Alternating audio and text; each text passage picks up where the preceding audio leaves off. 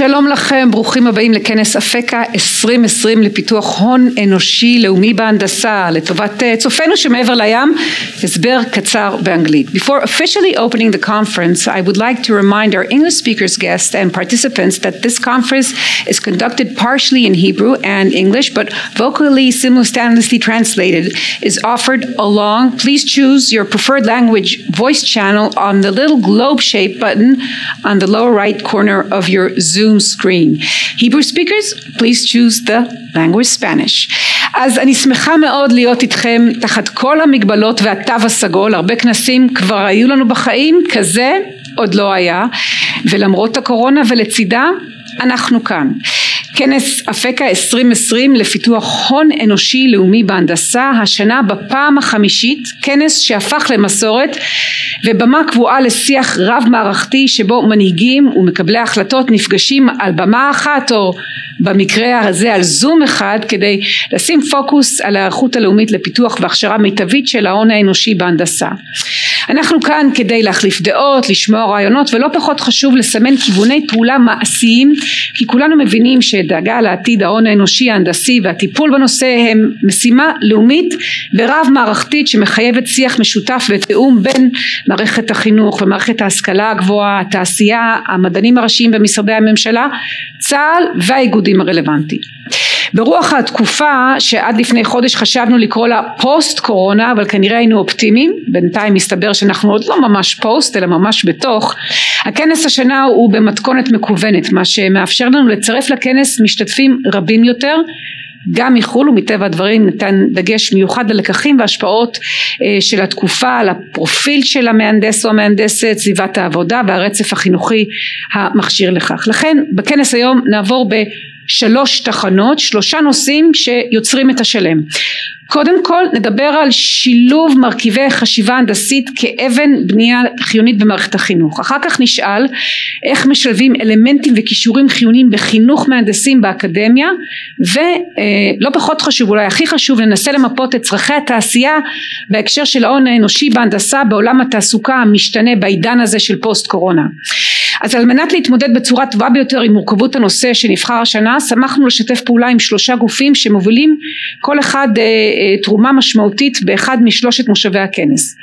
במושב התעשייה הפותח את הכנס ויהיה במידה רבה סמן ימני לתוצר המבוקש מהרצף החינוכי חברנו ללשכת מסחר ישראל אמריקה בהובלת המנכ"ל עודד רוז. הלשכה יזמה לפני כשנה את פרויקט Outsight הבוחן מנקודת מבט של החברות הרב לאומיות המובילות במשק את המוכנות שלהן ושל ההון האנושי שלהן לשוק העבודה העתידי ובאמצעות צוותי עבודה מנציגי החברות הם מציעים דרכים להתמודד עם האתגרים הניצבים בפנינו ואת זה נשמע בפאנל.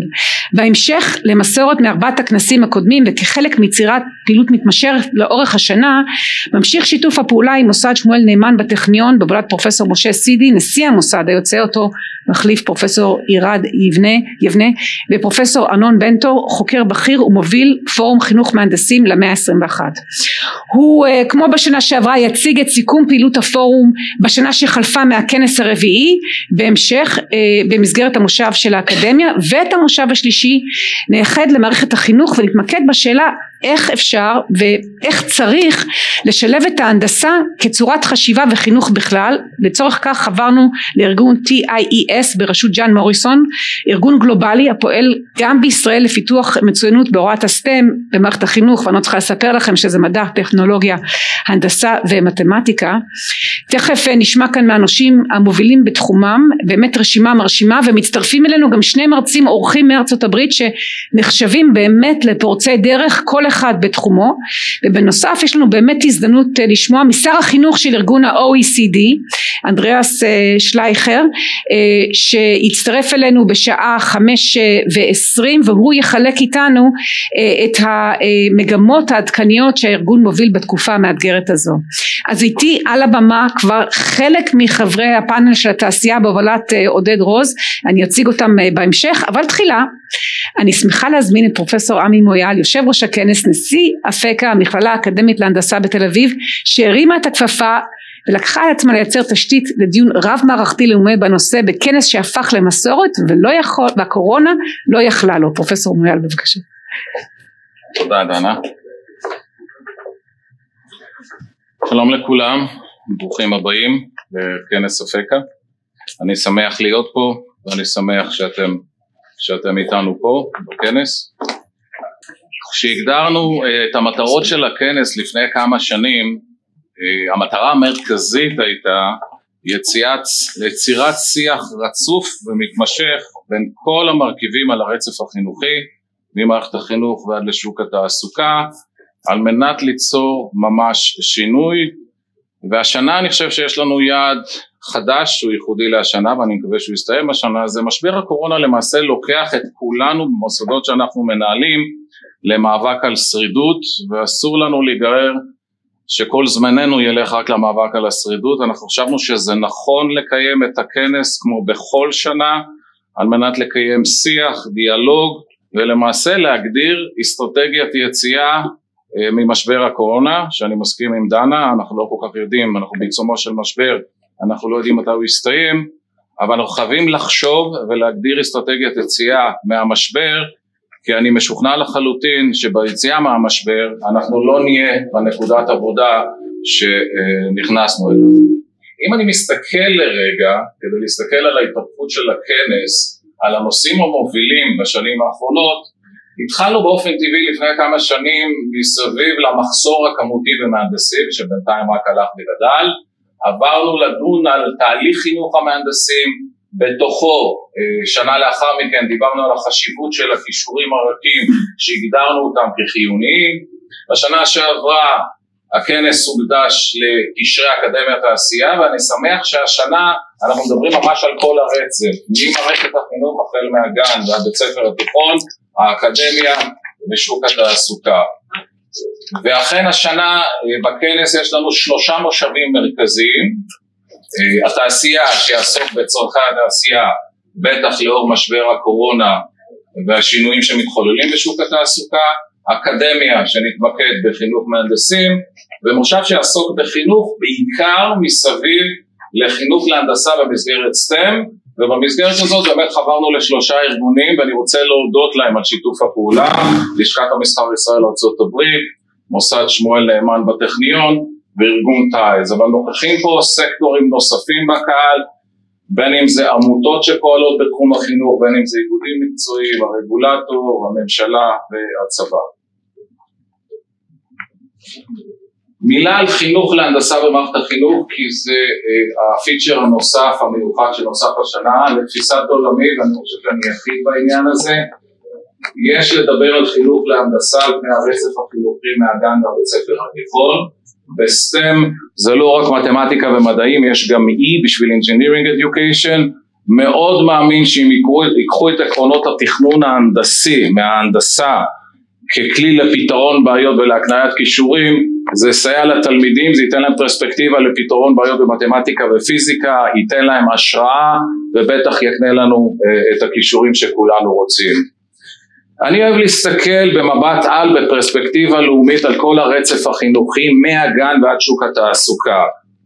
יש לנו שתי נקודות מדידה בינלאומיות, מבחני פיאק שמודדים את הכישורים בגיל 16 עד 65 שבהם אה, אה, מצבנו ברמה הבינלאומית לא מזהיר ויש לו גם את מבחני פיזה שאני מניח שיותר מאוחר נשמע מאנדריאס שלייכר על מה הולך לקרות במבחני פיזה ב-2022 שהדגש יהיה על חשיבה מתמטית ועל הקניית כישורים לתפיסת עולמי וזה מה שעשינו במכללת אפקה כמוסד חינוכי הגדרנו את התוצר המצופה מהמכללה הגדרנו את דמות המהנדס ואז אנחנו משנים את כל התהליך החינוכי על מנת לתמוך במימוש של אה, אה, דמות הבוגר.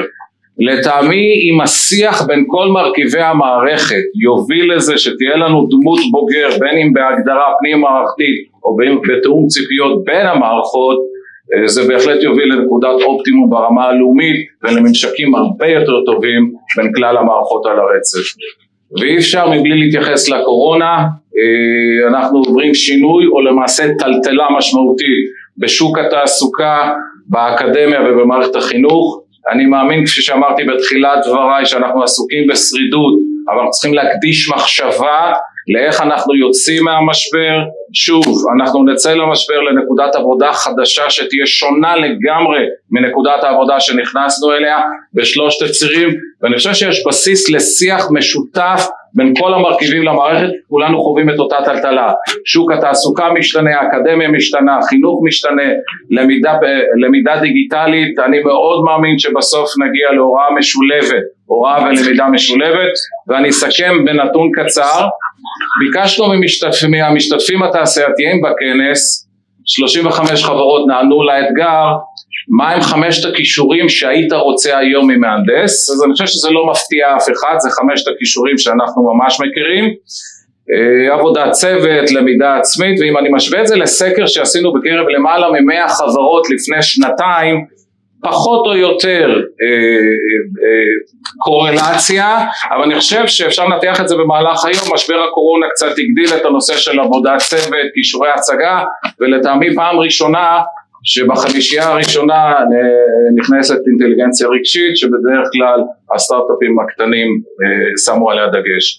אני רוצה להודות לכולם, למרצים בארץ ומחו"ל, לפאנליסטים, למשתתפים הרבים שנמצאים איתנו ופינו את הזמן, למחלקת השיווק, למדור כנסים ולאלון ברנע שעמלו קשות בתקופה האחרונה על מנת שהכנס הזה יהיה מוצלח. מקווה מאוד שכולנו ניקח מהכנס הזה תובנות ליום יום שלנו וגם לתכנון האסטרטגי לפוסט קורונה לכשיגיע. תודה רבה. תודה רבה פרופסור מויאל. ועכשיו ברצוני להזמין אה, לדברי ברכה את חבר הכנסת עמיר פרץ שר הכלכלה שבמסגרת משרדו גם פועלת הרשות לחדשנות. נוכחות אה, השר בכנס אומנם תהיה בזום בגלל מגבלות לו"ז אבל השתתפותו היא באמת עדות אה, נפלאה לתהליך הנבנה של שותפות הממשלה והתעשייה בבניית ההון האנושי. כבוד השר בבקשה. שלום לכולם. אני רוצה באמת להודות למארגני הכנס, אני יודע שזה כבר הכנס החמישי, ודאי הניסיון שלכם. רב מאוד, אבל אני מבחינתי מנסה להביא את הערך הנוסף שאני יכול גם לתוך הכנס אבל גם לתוך השוטפת במשך כל השנה. ואני רוצה קודם כל להדגיש אני חושב שהתעשייה הישראלית אה, ערוכה ומוכנה לאתגר של ההתמודדות ליום שאחרי הקורונה. אני חושב שמה שעברנו בתקופה הזאת, אה, המשבר הגדול, אנחנו מקבלים הזדמנות, ואם יש דבר ברור ומקובל על כל הקודמות שההזדמנות צריכה בראש ובראשונה להיות מנותבת להשבחת ההון האנושי, לניצול ההון האנושי ולהשקעה אה, גדולה ככל האפשר בהתאמת המקצועות אה, הקיימים למקצועות חדשים, כמובן מתואם עם התעשייה. לצערי הרב התעשייה במדינת ישראל היא מאוד מותקפת התעשייה הישראלית מרגישה שבעצם היבוא תחליף כל הפעילות במשק ואני חושב שאנחנו צריכים להעניק כלכלה אנושית שמבחינתי המושג הזה כלכלה אנושית הוא שיעור נכון בין היכולת לשמור על ייצור מקומי ברמה מאוד גבוהה תוך כדי שימור ההון האנושי שקיים בידינו השפחתו ויחד עם זאת לשמור על היכולת לקיים תחרות הוגנת שלא יהיה מצב שההגנה המוחלטת על התעשייה הישראלית חלילה תביא לאיזשהו תהליך של רגרסיה ביכולת לייצר תחרות. אני חושב שהמסר שאנחנו אה, רואים בתעשייה הישראלית אה, שותף אמיתי אה, מתחיל לחלחל. אני שמח שאנחנו צריכים להביא לכך שהממשלה כולה, לרבות ראש הממשלה, הצהיר לאחרונה שתהיה עדיפות לתוצרת כחול לבן, אה, דבר שאנחנו נלחמים עליו אה, בשגרה, ביום יום, בניסיון לשכנע את כל הגורמים הממשלתיים שמוציאים מכרזים, אכן אה, לתת עדיפות לכחול לבן. הנושא השני הוא כמובן רכש גומלין. רכש גומלין במדינת ישראל יכול להפוך לאחד המנופים אולי החשובים ביותר גם למינוף התעשייה אבל גם למסירת הזדמנות למקצועות נוספים בוודאי לא בתחומי הגז. רק לאחרונה בגלל אה, אה, המכרז שבו דחתה ג'נרל אלקטריק. בחברת החשמל היא לצורך העניין אה, העמידה ברכש הגומלין סכומים שמתקרבים למעלה מ-100 מיליון שקל והסכום הזה כולו אמור להיות ברכש גומלין דבר שיביא הזדמנות לתעשייה לקבל הזמנות אבל ודאי גם יביא אה, אה, הרבה יותר יציבות והרבה יותר רצון להשקיע בהשבחת האנוש. בתוך המשרד אנחנו הכנו אה, בשבוע האחרון, סיימנו הכנה של תוכנית מקיפה מאוד שמדברת גם על ניצול כל המסגרות שקיימות במשרד. אתם ודאי כולכם מכירים את המסגרות המרכזיות, השתיים, הבולטות, שם חשובות מבחינת בעיה כנס, כמובן הרשות, הרשות להשקעות, ששם אנחנו נותנים את העדיפות הנכונה למשקיעים שרוצים או להרחיב את המפעלים שלהם או לפתוח מפעלים חדשים. יש לנו כמובן קרוב למאה פרויקטים שממתינים לתקציב, אני מאוד מקווה שנצליח להשיג תקציב בתקופה הקרובה כדי לתת להם לצאת לדרך.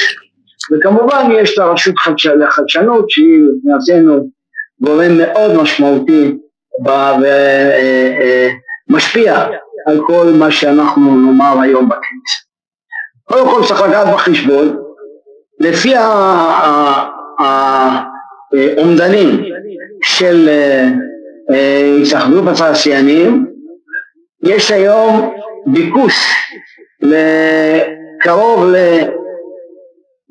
בוא נאמר כך, בין 40 אלף ל-80 אלף מקומות עבודה שהיום למרות הקורונה ולמרות האבטלה הקיימת יש עדיין בין 40 ל-80 אלף מקומות עבודה לא מאוישים ומדובר כמובן במקומות עבודה בתחומים אה, שהם אה, תחומי הנדסה, תחומים של אה, מקצועות ברמה אה, שנחשבת רמה גבוהה בתוך התעשייה. אני רוצה להדגיש שהתעשייה הישראלית היום, ממוצע השכר בתעשייה הישראלית שלנו הוא כ-14 אלף שקלים. אני מדבר על ממוצע בין העובד עם השכר הנמוך ביותר לעובדים בשכר הכי נמוך. הממוצע של השכר בענף ההייטק מגיע ל-22 אלף שקלים אולי קצת יותר. זה בהחלט נקודת פתיחה טובה שיכולה לתת מוטיבציה לכל אלה שבוחרים לקשור את עצמם במקצועות ההנדסה בישראל. הדבר הנוסף שאנחנו מנסים לייצר עכשיו ב, ב, בתוך אה, רשות החדשנות, לנסות לייצר מסלולי הסבה מהירים, אפקטיביים, שרובם מבוססים על כך שהמקצוע הבסיסי שיש לאותו אה, אה, אדם עובד, אזרח שרוצה לעשות הסבה מקצועית, ודאי אחד המקצועות הבסיסיים החשובים ביותר במקצוע מתחום ההנדסה. אני חושב שהמסלולים האלה יש להם סיכויים מאוד גדולים, מדובר על ביקוש של 18 אלף מקומות עבודה מיידיים בתחומים, אה, בתחומים של אה, הייטק, כמובן שהפוטנציאל לעשות הסבה למי שיש לו מקצוע בסיסי בתחום ההנדסה למקצועות בתחום ההייטק הוא פוטנציאל שקיים. אני רוצה להתייחס למצב הכללי, אין ספק שהמצב הכללי הוא לא טוב, כן? אני קיבלתי דיווח לפני כשעה על uh, מספר מאוד מדאיג של 3,400 uh, uh, אזרחים שהצטרפו לתוך uh, מסגרת המובטלים, זאת אומרת נוספו לנו היום עוד 3,400 איש למספרי המובטלים שלנו.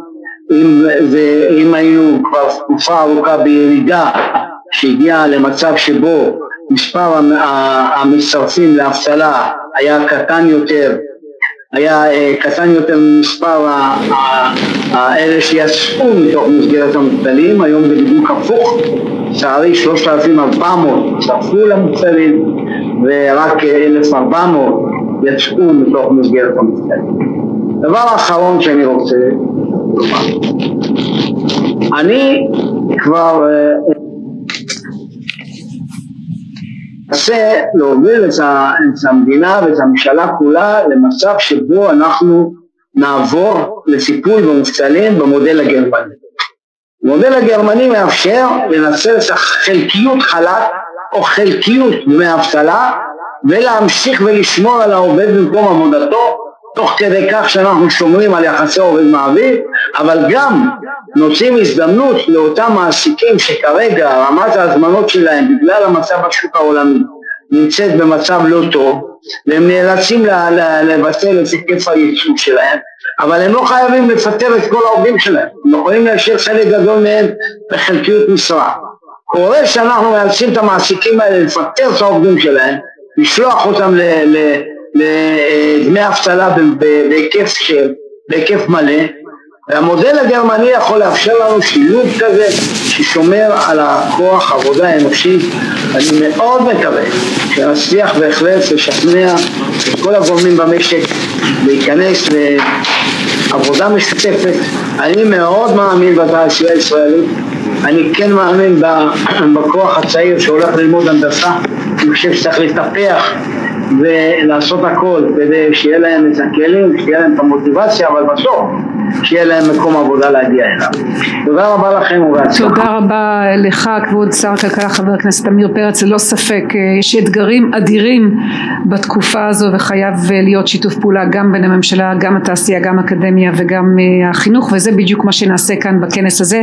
אז שוב תודה רבה לך ולסיום פרק הברכות הפותח ברצוני להזמין את פרופסור יפה זילברשץ יושבת ראש ות"ת הוועדה לתכנון ותקצוב במועצה להשכלה גבוהה ומי שמכבדת אותנו גם בין בנוכחותה השנה בזום כבר חמש שנים שאת אה, בראש אה, ות"ת ואנחנו מאוד שמחים שאת מצטרפת אלינו גם הפעם. יפה בבקשה. תודה רבה דנה, עמי, כל החברים וכל מי שכאן. אני רק, אה, אני אהיה מאוד מאוד קצרה, אני אומר את הדברים הבאים.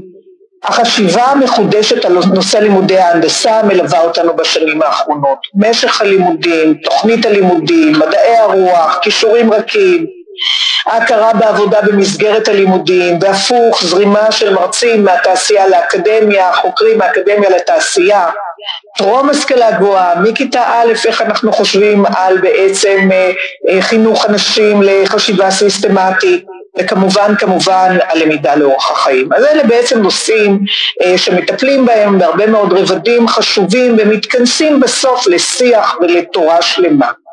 כל הדבר הזה מקבל תאוצה מדהימה ורלוונטיות ממש בלתי מוגבלת בעידן הקורונה. אז קודם כל יש לנו פתאום את היכולת של האמצעים הדיגיטליים, איך באמת הלמידה הדיגיטלית, דיברנו עליה וחשבנו עליה אבל לא באמת ידענו מה העוצמות שלה, לא מה החסרונות שלה, מה היתרונות שלה, יש לנו פה ניסוי שלא צפינו, חבל שצריך לשלם עליו מחירים כל כך יקרים כמו שהשר פרץ אמר לפני דקה, אבל יש לו גם את ההיבטים של דברים שקרו פתאום בתאוצה ובמהפכה במקום בעצם בתהליך. אז אה, איך אנחנו משתמשים בדבר הזה לצורך כל הדברים שאמרתי קודם, וכמובן הרלוונטיות לשוק עבודה משתנה וללמידה לאורך החיים, זה יהיה הנושא המרכזי לדעתי בדיון בשנה הבאה, איך אנחנו מלמדים טכנית את כל המהויות ואיך אנחנו מכשירים אנשים הכי מהר שאפשר לעשות שינויים ולחזור לשוק התעסוקה וצריך לנצל את העובדה, אנשים פנויים בסגר, אפשר לקחת את כל הידע הזה, את כל המוסדות הגדולים, את כל מה שנצרך בהם, את כל מה שנלמד ולהוציא אותו מן הכוח אל הפועל. אה, אני באמת אה, שנה חמישית בכנס מאז שאני אה, בתפקידי ועמי והצוות שלו יחד עם מוסד שמואל נאמן, מנהליו ובמיוחד, במיוחד ראי המוערך פרופסור בנטור שמוביל כאן מהלך מאוד מאוד גדול, עמי עם התלמידים ביישום וארנון בכל בניית התיאוריה, אתם נותנים לנו את הכוח כי בסוף אנחנו כמל"ג צריכים לקבל החלטות איך לומדים ומה עושים ואחר כך כות"ת אה, מה ראוי לתקצב ומה ראוי בעצם להשתמש בכסף כדי להוביל תהליכים.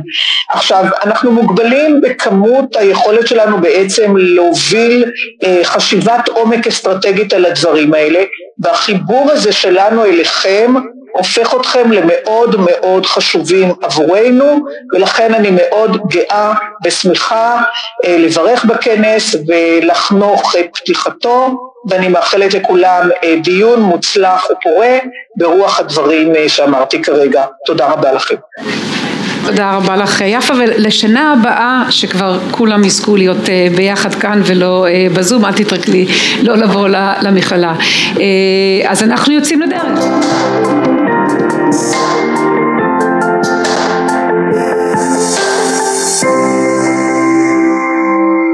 אז אני מודה שכשראיתי לראשונה את התוכנית אה, של הכנס היה נדמה לי שסדר המושבים צריך להיות הפוך להתחיל עם החינוך בבתי הספר אז לאקדמיה ולבסוף לתעשייה אה, במקרה הזה הלקוחות של התוצר. אבל אז הסבירו לי את המובן מאליו עבור מהנדסים ואני לא מהנדסת בוודאי הטובים שבהם כמו אלה בוועדת ההיגוי של הכנס והם אמרו שלמעשה אה, כמובן קודמת מחשבה תחילה וכל תכנון מתחיל בראייה והבנה מעמיקה של הדרישות מהתוצר ולכן את התשובה לשאלה איך לחנך את מהנדסי המחר צריך להתחיל דווקא בקצה אצל מנהלי החברות המעסיקות את עשרות אלפי המהנדסות ומהנדסי מחקר ופיתוח וכדי שנוכל לשמוע מהם מה הם מחפשים במילים אחרות להגדיר לכולנו את הדרישות ודמות המהנדסת והמהנדס ושוק העבודה לתוכו הם ישתלבו בעשור הקרוב.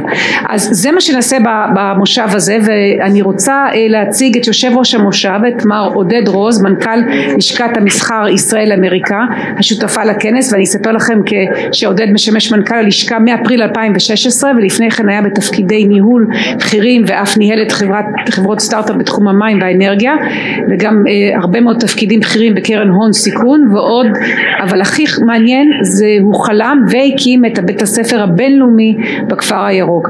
אז אה, עודד אה, מיד יפתח את הפאנל מצטרפת אליו כאן איתנו במחיצה על פי התו הסגול דוקטור אמירה שרון סגנית נשיא בכירה חדשנות ומו"פ התעשייה האווירית מאז שנת 2018 ואני אספר לכם שדוקטור שרון מובילה את ניהול המחקר והפיתוח הכולל של התעשייה האווירית, שילוב טכנולוגיות מתפתחות ומשבשות ודוקטור שרון צמחה בתעשייה האווירית וכיהנה במגוון תפקידים אה, בתחומי הפיתוח בחברה ב-22 השנים האחרונות.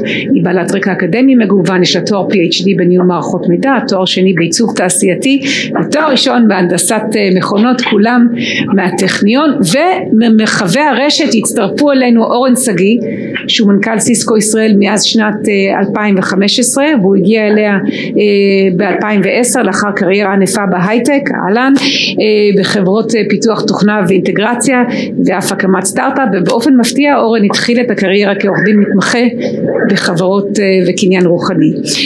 מהבית מהזום גם דניאל מלכה מנכ"ל IBM ישראל שהצטרף ל-IBM לפני 25 שנה ומילא שורה של תפקידי ניהול בכירים בחברה תחילה במולדתו צרפת ואז בישראל לאחר שעשה עלייה ב-1998 הוא בעל תואר ראשון בהנדסה מהטכניון ותואר שני במנהל עסקים בבית ספר הנלי בביזנס סקול שבלונדון. ואני אספר לכם גם ש-IBM מנהלת בישראל פעילות מטה שיווק ומכירות. זאת לצד מעבדות מחקר מעבדות פיתוח מעבדת המחקר של IBM בחיפה היא הגדולה ביותר של החברה מחוץ לגבולות ארצות הברית.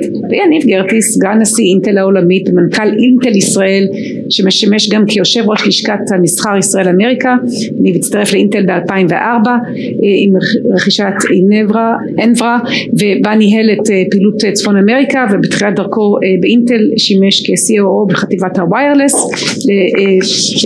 אז לפתיחה אז אלה המשתתפים ולפתיחת המושב אני שמחה להזמין את יניב על מנת שייתן לנו את הרקע לדיון. יניב אליך בבקשה תודה דנה. אה, אני אתחיל בכמה מילים אה, עלינו כדי לתת קונטקסט אה, לכמה מההערות שאני רוצה לחלוק איתכם אחר כך.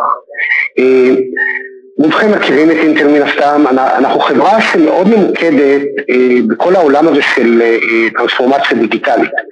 אם זה בפיתוח של טכנולוגיות או מוצרים שמאפשרים לנו לספק פתרונות לעיבוד החל מעולם ה-IoT, דרך עולם המחשוב הביתי והאישי,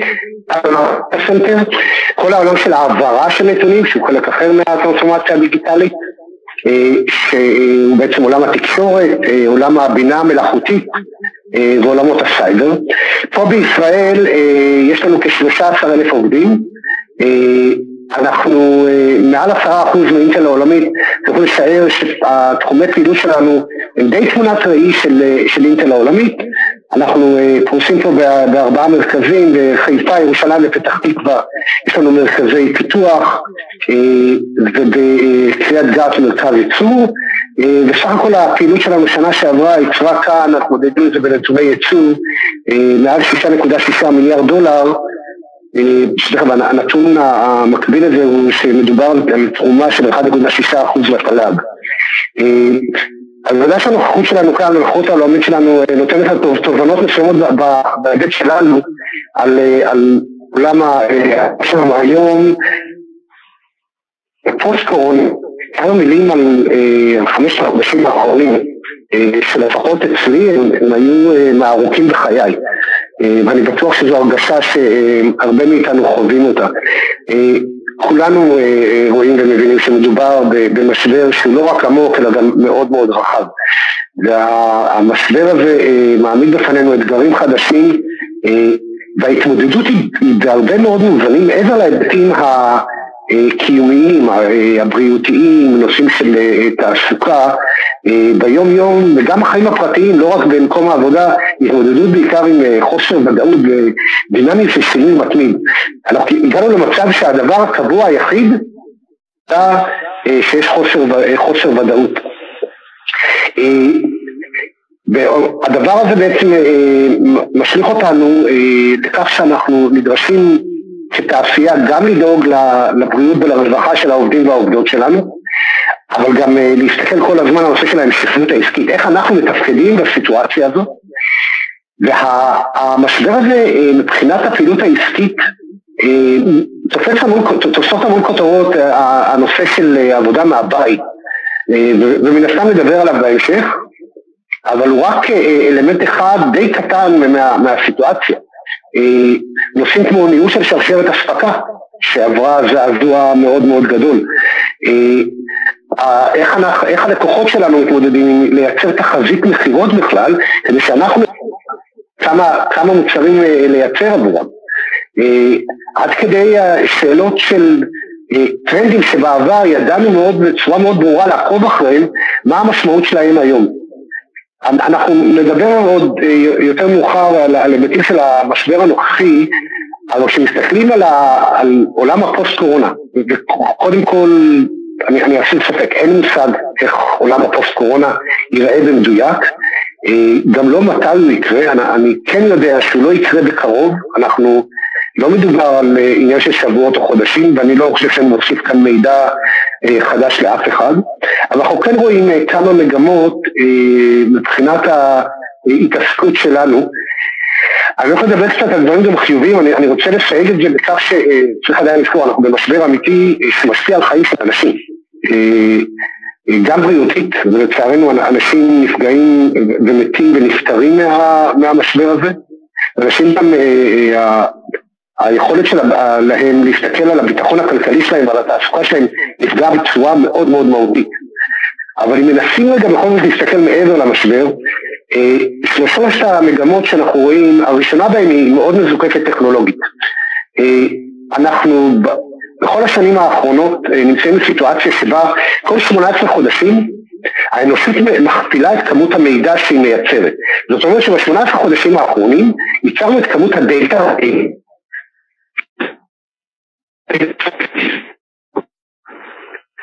בתוך הרגע הזה אפשר למחקרים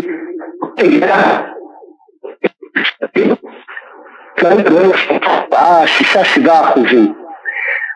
המשבר הנוכחי, אנחנו רואים איך הוא מאיץ את המגמות של הטרנספורמציה הדיגיטלית, גם את כמות הידע וגם את כמות, או כמות הדאטה וגם את השימוש בדאטה.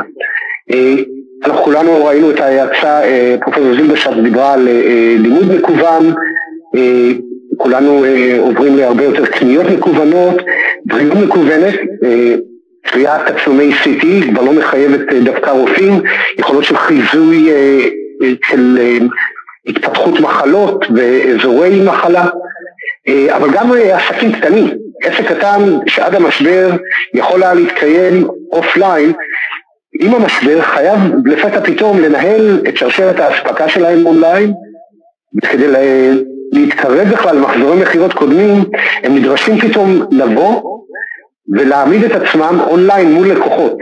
כל הדברים האלה מייצרים הרבה יותר data, ואנחנו רואים בדבר, בהאצה של התהליכים, אה, שהם ישפיעו בסופו של דבר גם על הטווח, אה, אותם 18 חודשים, כפי הנראה יתקצרו, מה שבוודאי יגדל מאוד זה כמות השימוש בידע, במידע ובדאטה. האלמנט השני, אה, שני האלמנטים האלה קצת יותר רכים, פרופסור מויאלי התייחס לזה בהתחלה, יש חשיבות באמת להתמודד עם שינויים באי ודאות. אנחנו רואים שאותם ארגונים שהתאמנו באותו סריר של להתמודד עם שינויים, קל להם יותר בתקופה הזו. הדבר הזה נכון לארגונים, נכון גם לאנשים.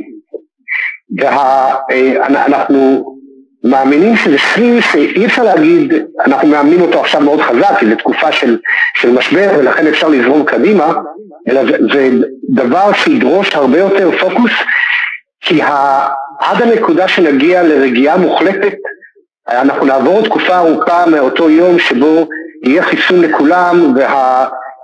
סכנות של הקורונה ייעלמו מחיינו. הדבר השלישי הוא אה, נושא של שינוי שיטות עבודה. יש פרדיגמות שנאלצות להשתמש, אה, סליחה, נאלצות להשתנות. אה, אם זה עבודת צוות שתיעשה בצורה אחרת ונעשית כבר היום בצורה אחרת, עד כדי העובדה שאם קודם בהרבה מאוד מקרים, כשהיינו בעולם הרבה יותר ודאי, התמקדנו בלחפש תשובות חדשות לבעיות, אנחנו היום אה, חייבים להתמקד גם ולשאול שאלות חדשות. בכל הדברים שקורים, הדבר שבוודאי עובר כחוט השני בין כולם והוא קריטי וחשוב, בטח במגזר שלנו, במגזר התעשייה, הוא הנושא של אה, טאלנט איכותי. כל המגמות האלה בסופו של דבר מייצרות הזדמנויות אדירות אה, בכלל, אבל בפרט בישראל. ואנחנו כולנו אה, נדרשים להמשיך לקדם ולפתח את, אה, אה, את מקצועות העתיד, ובעצם אותם מקצועות שדורשים הון אנושי, שיודעים להתמודד עם שינוי, ולהסיט לאט לאט מקצועות אחרים לעולמות של אוטומציה, זה, זה תהליך שבוודאי בשיחה שנעשית בעברית מביאה הרבה מאוד ערך לישראל כמדינה, כי נוגעת באמת במקומות שמאוד מתאימים להון שלנו כ, כחברה. וחשוב לנו לאפשר לעובדים התפתחות קבועה ומתמדת במקום העבודה, הן בצד של היכולות והכישורים, ופה החיבור הגדול לאקדמיה, והן בניהול קריירה אה, מתוך מקום העבודה. כדי לעשות את כל הדברים האלה, השת"פ בין התעשייה לאקדמיה הוא לא שת"פ של העברת מקל. אה, אני חושב שגם האקדמיה וגם התעשייה, אני רואה את זה במקרה שלנו, עובדים מאוד צמוד, אבל היכולת לשזור את העשייה של כולנו ביחד הופך להיות הרבה יותר קריטית להצלחה העתידית, ולא לא, לא, להסתכל על שורה של פרקים שאנחנו צריכים לחבר אותם, אלא על רצף מתמשך, והדברים האלה באמת יקנו לנו את החוזק. אני רוצה לסיים באמירה שהיא מתרחקת טיפה מה, מהצד הטכנולוגי, או מה, מהעיסוק של חברות. אני, אני מאוד מאמין בכך שכדי שחברה, company, תהיה חזקה, היא חייבת לפעול בסביבה שבה הכלכלה והחברה, הסוסייטי, הן חזקות. אנחנו עוברים משבר מאוד גדול, ובמרץ אין ספק שהקורונה הייתה גולת הכותרת של הסיבה למשבר. היום הקורונה היא רק חלק מהסיבות למשבר. כמו כל משבר, אה, חוזקות וחולשות מועצמות. לצערנו חולשות הרבה יותר מועצמות יותר במשברים מאוד מאוד עמוקים. אני חושב שכולנו חווים אה, שנחשפים ליקויים די כבדים בתשתיות כאן בישראל, תשתיות של תעסוקה, של תשתי, תשתיות של מיומנות, של שוויוניות, פריפריה, מוביליות חברתית, וגם בתשתיות של התשתית אה, הערכית והאמון, הרבה, אה, הרבה מלל אה, מופנה כלפי הממשלה, אבל גם, גם לנו כחברה, עד כדי הדוגמה של הורים שמוכנים להתחזות לחתן וכלה כדי לייצר מסיבה לילדים. אנחנו חייבים אה, לא רק להשקיע היום בתשתיות האלו, אלא אנחנו חייבים לזכור שביום שנצא מהקורונה, ואנחנו נצא מהקורונה, אסור לנו להוריד את הרגל מהגז כי uh, בחוויה שלנו הבעיה נגמרה ואפשר לחזור לחיים של פברואר 2020. אם אנחנו לא נשתמש בעובדה שהתגלו לנו פערים כדי לתקן אותם, וזה לא תיקון שייקח רגע אחד ולדחוף קדימה, אה, יהיה לנו, אה, אני חושב שאנחנו נפסיד מה, מההזדמנות שנוצרה לנו, אנחנו צריכים להיות פורצי דרך טכנולוגיים ביחד עם מובילים חברתיים, כי אין ערך לעשייה ללא דאגה לחברה ולהפך. עודד אנחנו חוזרים אליך לטובת מי שלא הצליח לשמוע, תן לנו ריקאפ קצר של מה שאמרת. אז רק אה, אמרתי שלשכת המסחר היא גוף אה, ציבורי שייך ל-250 חברות ביחד, אנחנו בערך שליש מהכלכלה הישראלית. אה, אנחנו הקמנו את פורום האחריות התאגידי שבמסגרתו הובלנו פרויקט שנקרא Outside והוא מתעסק בעולם התעסוקה העתידי.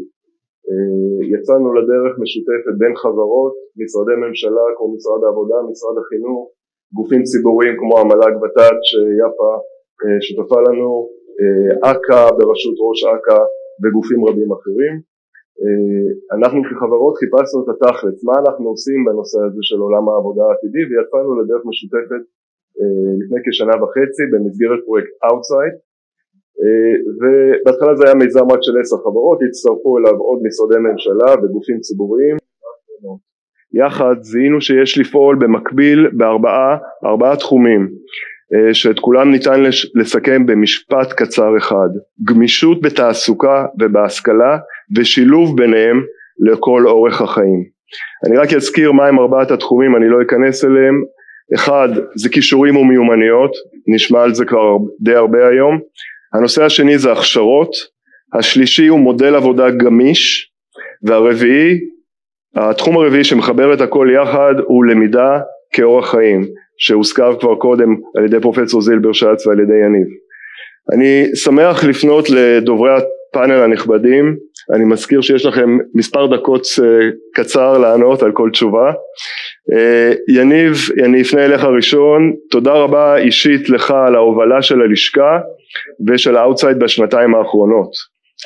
אה, יניב נתחיל דווקא מהסוף, מהלמידה כדרך חיים.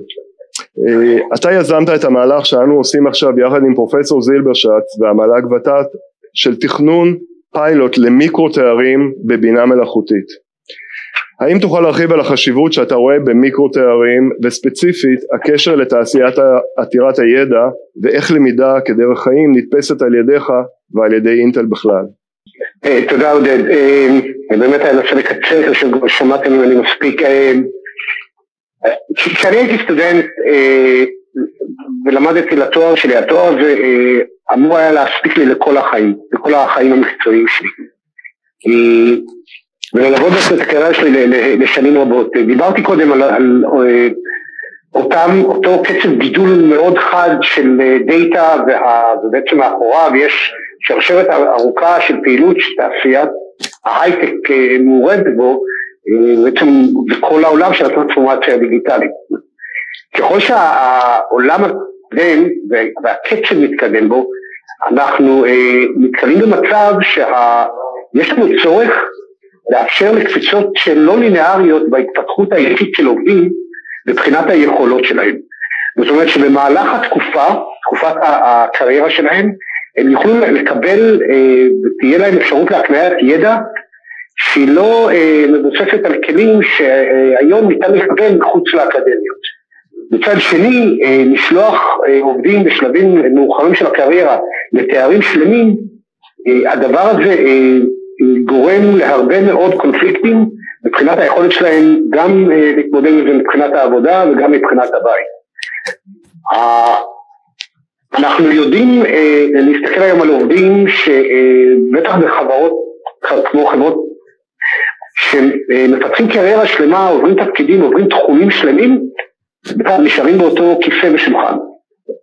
אבל כדי לאפשר את הדבר הזה בעתיד נדרש באמת כל פעם לתת להם את הבוסט הלא ליניארי הזה והקניית ידע ברמה אקדמית אה, מול אתגרים חדשים אה, שבעצם זה כבר נושא המיקרו תארים, בעצם תארים קטנים יותר בתכולה שלהם שאפשר לקבל את הקניית הידע והיכולות כי זה שני האלמנטים האלו יחדיו, בתקופה קצרה יותר, הם, הם מאוד מאוד חשובים כדי לאפשר את ההתמודדות עם כל אותם תחומים חדשים שאנחנו היום מתמודדים איתם וכל אותן חזיתות שכולנו אה, אה, מסתכלים, מסתכלים עליהן מבחינת הפתרונות הטכנולוגיים והמוצרים.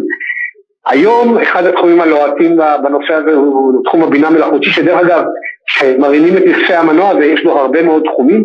עוד חמש שנים זה יכול להיות דבר אחר ולכן היכולת לבנות מנגנון שבו יש הפניית ידע ברמה אקדמית שמאפשרת את אותן קפיצות במהלך הקריירה היא מאוד מאוד קריטית ואני חושב שחשוב מאוד שניישם אותם פה במדינת ישראל כמה שיותר מוקדם כי זה חלק מהכוח שלנו כתעשיית הייטק מקומית להיות כל הזמן בחזית גם בהיבט של הקשר אה, בין התעשייה לאקדמיה והעובדים.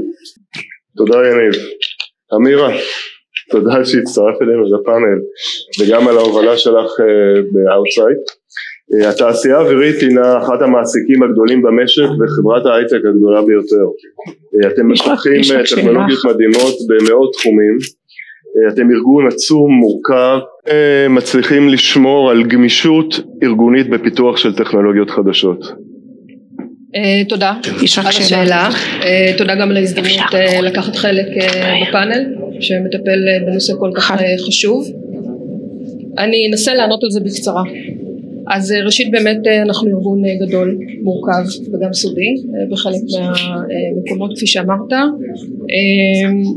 ובאמת יש כמה פרסי ביטחון מדינת ישראל שתעשייה אווירית קיבלה יש עשרות פטנטים שאנחנו רושמים כל שנה מה שאומר שאנחנו מצליחים להיות רלוונטיים ומילת המפתח בעיניי המילה שהזכרת גמישות.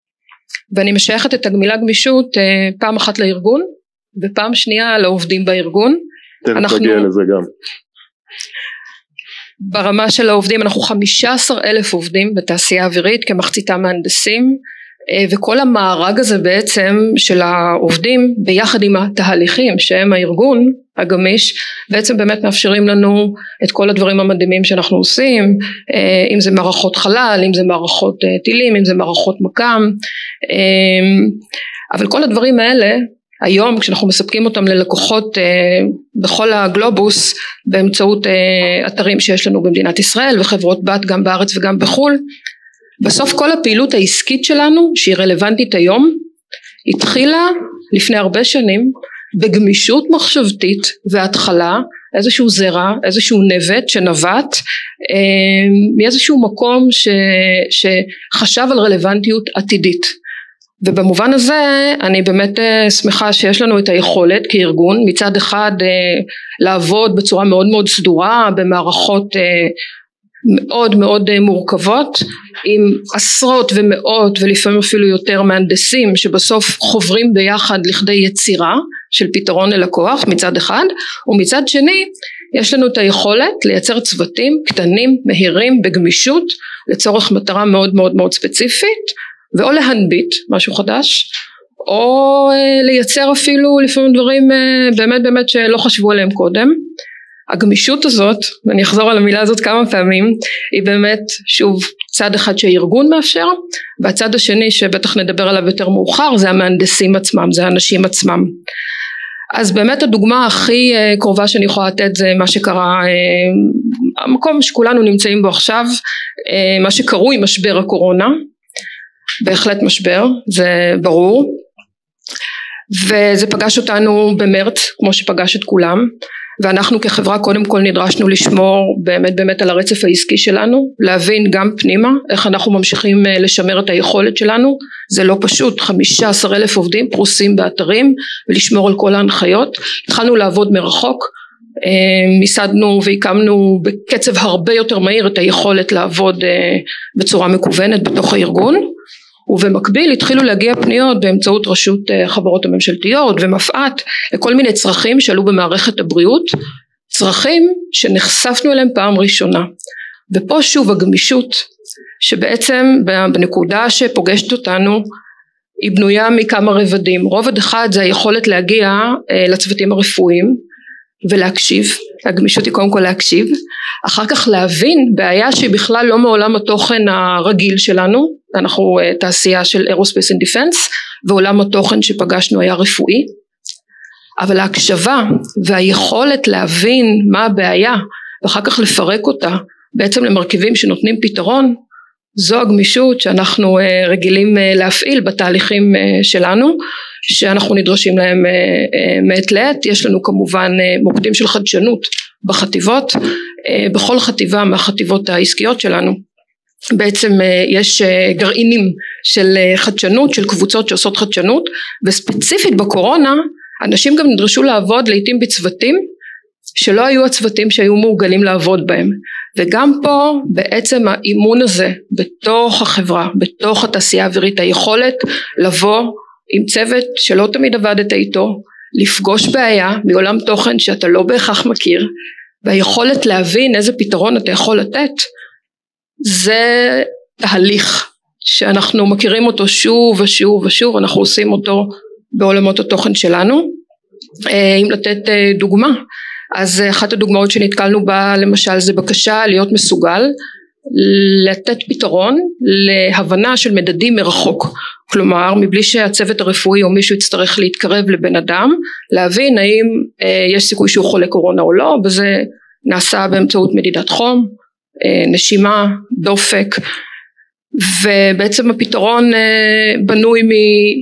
בסופו של דבר ממקם שמשמש לצרכים אחרים. מקם מקם שמשמש לצרכים אחרים יחד עם אה, סנסור אופטי יחד עם בינה מלאכותית הכל ביחד כמובן יחד עם מפת יחד עם הטכניון גם פה היכולת הזאתי הגמישות המחשבתית הזאתי לעבור בין עולמות תוכן לחבר חיבורים שלא בהכרח היו מחוברים קודם ולתת פתרון זאת גמישות אבל עוד מילה אני רוצה להוסיף זאת גם נחישות מאוד מאוד גדולה לדלבר אני קוראת לזה בסוף בסוף לא מספיקה הגמישות כי הגמישות יכולה להביא אותך גם למקומות שהם לא ברי השגה היכולת הזאת להיות גמיש אבל באותה עת גם באמת באמת באמת להביא פתרון בר קיימא אמיתי ובמקום בצורה מאוד מאוד מהירה זה חלק מה, מהתהליך.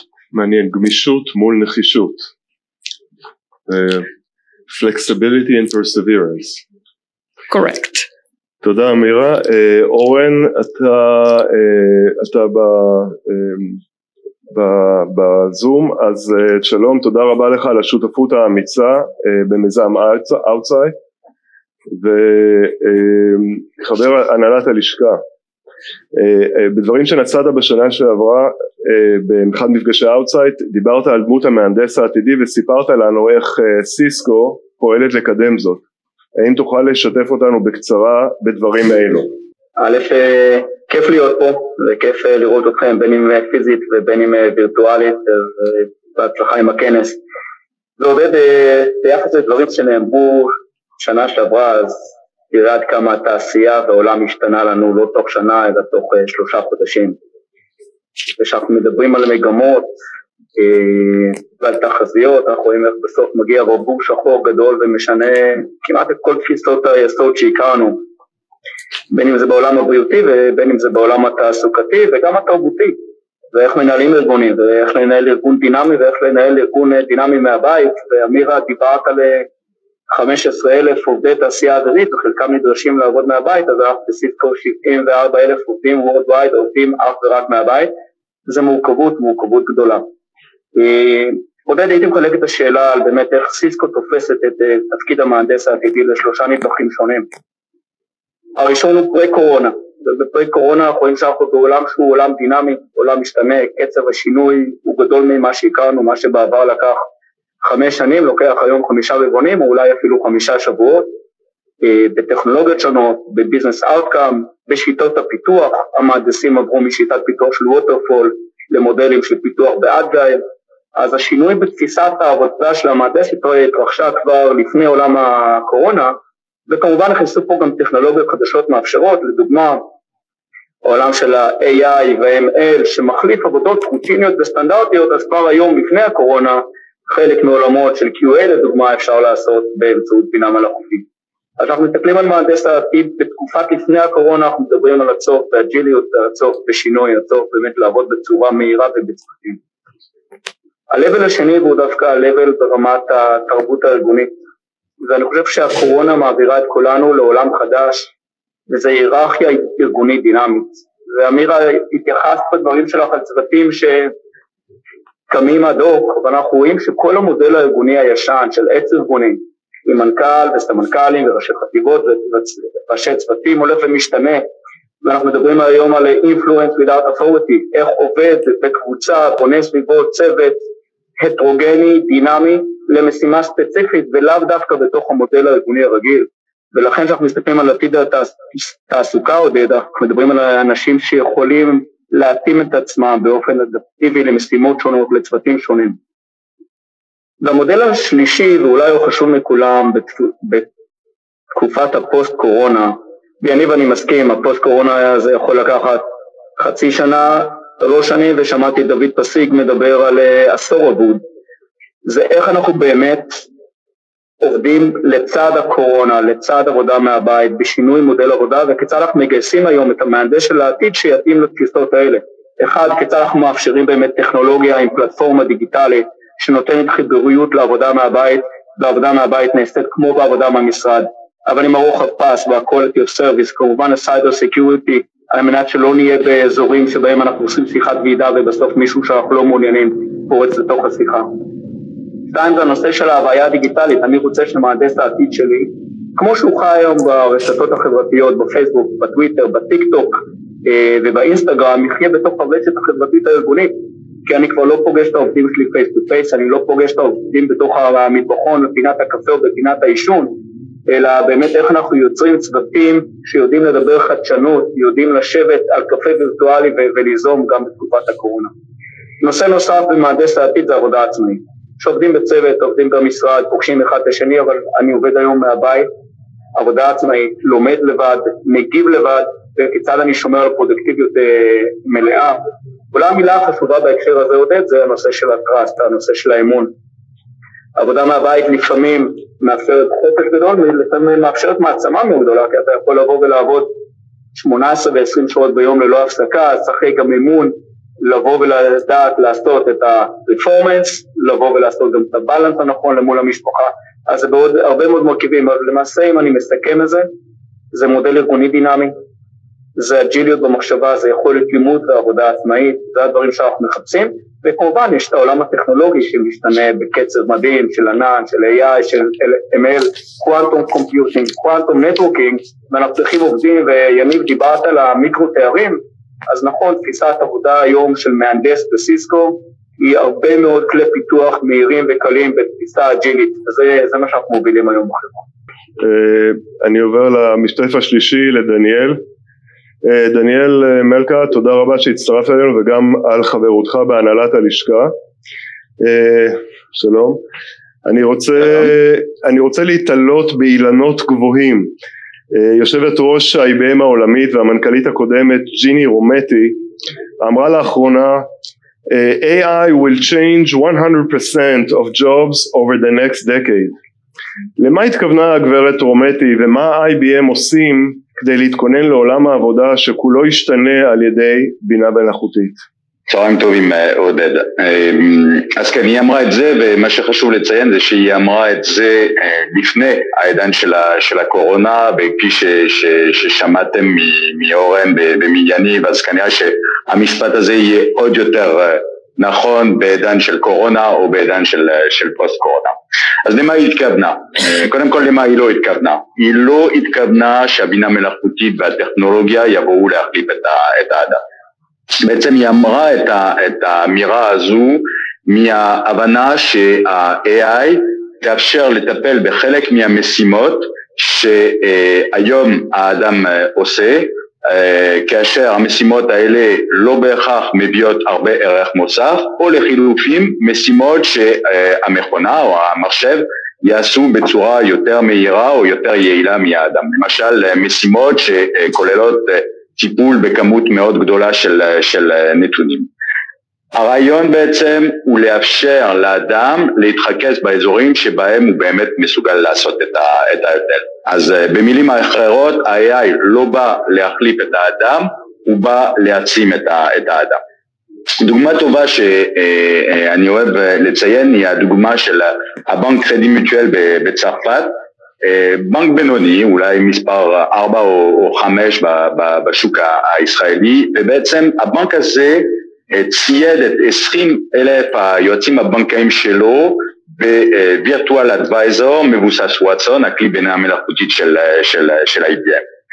קודם כל הווירטואל אדוויזור הזה אפשר להם לחסוך הרבה זמן. דוגמה אחת, הוא מטפל ב-50% מעשרה מיליון האימיילים שמגיעים לבנק מדי חודש. אז אתה יכול לתאר לעצמך את, ה, את, ה, את החיסכון בזמן וגם השיפור בשביעות של רצון של, ה, של הלקוחות של הבנק שמקבלים תשובה בצורה הרבה, הרבה יותר מהירה. אבל מה שהוא עשה, הווירטואל אדוויזור הזה, שבעיניי הוא עוד יותר חשוב, זה שהוא פתח את האופקים של כל היועצים הבנקאיים האלה. עד לפני ההטמעה שלו כל אה, אה, יועץ היה ממוקד בעולם תוכן מסוים, משכנתאות, ניירות ערך או, או נושאים, נושאים אחרים. מה שהווירטואל אדוויזור בעצם הזה אפשר לעשות זה באמת לתת לכל אותם היועצים האפשרות לנהל דו שיח ולהציע את כל הפורטפוליו של הבנק לכל הלקוחות אה, אה, שלהם. אז זה דוגמה אחת בתחום הבנקאות. דוגמה נוספת בתחום הבנקאות שבעיניי היא גם כן מאוד מעניינת זה הבנק הבריטי, לויד, אה, שלקח את זה לכיוון, לכיוון אחר. הם בעצם הכשירו את מוקדני השירות שלהם לפתח בוטים אה, תוך כדי שהם אה, אה, לימדו אותם איך להשתמש בכלים של, של פיתוח בטכנולוגיות של בינה מלאכותית. בעצם המוקדני השירות האלה השתמשו בידע העסקי שלהם כדי לפתח בוטים שיחסכו להם הרבה זמן. ואת הזמן הזה בעצם הם יכולים להשקיע בחזרה אה, בפתרון או בטיפול בבקשות שהן יותר מורכבות שבהן בעצם הבינה מלאכותית לא יכולה לתת, לתת מענה. ויש עוד הרבה כמובן דוגמאות של, ה, של העולם של, ה, של הרפואה, אה, אני חושב שיניב ציין את זה, דמיינו רדיולוג שמשתמש בכלים של של בינה מלאכותית כדי לקרוא את, ה, את ה-MRI או התמונות אה, רנטגן וכך לחסוך הרבה זמן וגם uh, טעויות. כי בסוף יום העבודה הרופא, הרופא כבר ראה הרבה מה, מהדברים האלה גם ב-IBM אנחנו משתמשים ומזרימים בעצם בינה מלאכותית בכל מקום הייתי אומר. גם בשירות ללקוחות שלנו אנחנו לימדנו את וואטסון את כל הפורטפוליו של מוצרים של IBM ובכך היינו מסוגלים בעצם לצמצם את הזמן טיפול בתקלות ב-30% אז גם חיסכון אדיר בכסף וגם שיפור דרמטי בשביעות רצון של, ה, של הלקוחות. אמ, הבינה מלאכותית גם נכנסה לעולם של, של המכירות עם ה-Cognitive Sales Advisor, בעצם אנשי המכירות שלנו יכולים להשתמש בכלים של בינה מלאכותית כדי להבין יותר טוב את האתגרים ש, שהלקוחות שלהם נתקלים בהם וכך להציע להם את, ה, את הפתרונות היותר רלוונטיים וכמובן בכל העולם של הלמידה גם הכנסנו הרבה מאוד בינה מלאכותית כדי לייצר באמת אה, אה, אה, חוויית למידה מותאמת אישית לכל אחד מה, מהעובדים שלנו. אז כמו שאתה רואה עודד הבינה מלאכותית נכנסה לכל מקום ב-IDM אנחנו מאמינים שהיא תיכנס גם כן בכל מקום בתוך, בתוך השוק. אבל הרעיון עוד פעם הוא להעצים את האדם כדי לעזור לו לבצע את המשימות שלו בצורה יותר יעילה. תודה רבה דניאל. אני עכשיו מעביר את, ההובלה לדנה שהיא תוכל להנחות שאלות מן הקהל. תודה רבה, זה היה בהחלט מרתק ויש הרבה מאוד שאלות. אני אתחיל עם שאלה לאורן שואלים כאן, אורן אמרת שלהנדסים נדרשים יותר גמישות והתמודדות עם שינויים, איך, וזה בעצם גם מתחבר לדברים שאת אמרת מירה, כי המילה גמישות חזרה כאן שוב ושוב, והשאלה בעצם איך בוחנים את זה בתהליך הגיוס של, ה, של המהנדסות והמהנדסים, יודעים שרוצים אותם גמישים וגמישות, איך זה מקרין על תהליך הקבלה לעבודה אז אני נראה לי שגם אורן ואולי גם אמירה תרצה להשיב על זה ממש בקצרה כדי שנספיק כמה שיותר שאלות. שאלה מצוינת דנה ותודה על השאלה וזה גם איך אנחנו מוודאים את מהלך תהליך רעיון העבודה על הגמישות העתידית וגם איך אנחנו עושים רעיונות עבודה בצורה וירטואלית ואיך אנחנו מכניסים עובד חדש לארגון מרחוק עם האתגרים כפי שהוא פוגש את הצוות face to face. אז תהליך הראיונות בסיסקו הדרך שבה אנחנו מבצעים ראיונות עבודה וקואליפיקציה זה באמת סדרה של פאנל של מראיינים, מספר מראיינים מזוויות שונות, גם ברמה של הניסיון המקצועי והידע המקצועי ומבחנים מקצועיים וגם ברמה בין אישית ואישיותית וכמובן המנהל המגייס. אבל בסוף מסתכלים גם באמת על הניסיון. אם אנחנו מדברים על early career אז זה באמת אותם אנשים עם הרעב בעיניים והסכין בין השיניים והיכולת ל self learning בין אם זה מהנדסים שיוצאים מהפקולטה ובין אם זה חיילים משוחררים מוכשרים שיוצאים מהיחידות השונות. ואם זה לא early career אז באמת אנשים שיש להם ניסיון תעסוקתי מספיק מגוון. ופה אולי מקום להזכיר ועודד הזכרת את Outside את המיזם שאנחנו עושים ביחד עם אה, לשכת המסחר אז זה באמת סוג של פלטפורמה שמאפשרת לנו כמעסיקים להעביר את האנשים שהיום אולי נמצאים בתעשיות שונות או בטור האבטלה שלצערנו הולך ועולה בישראל ולהעביר אותם מערך של הכשרות והדרכות שמאפשר להם לקבל את ה...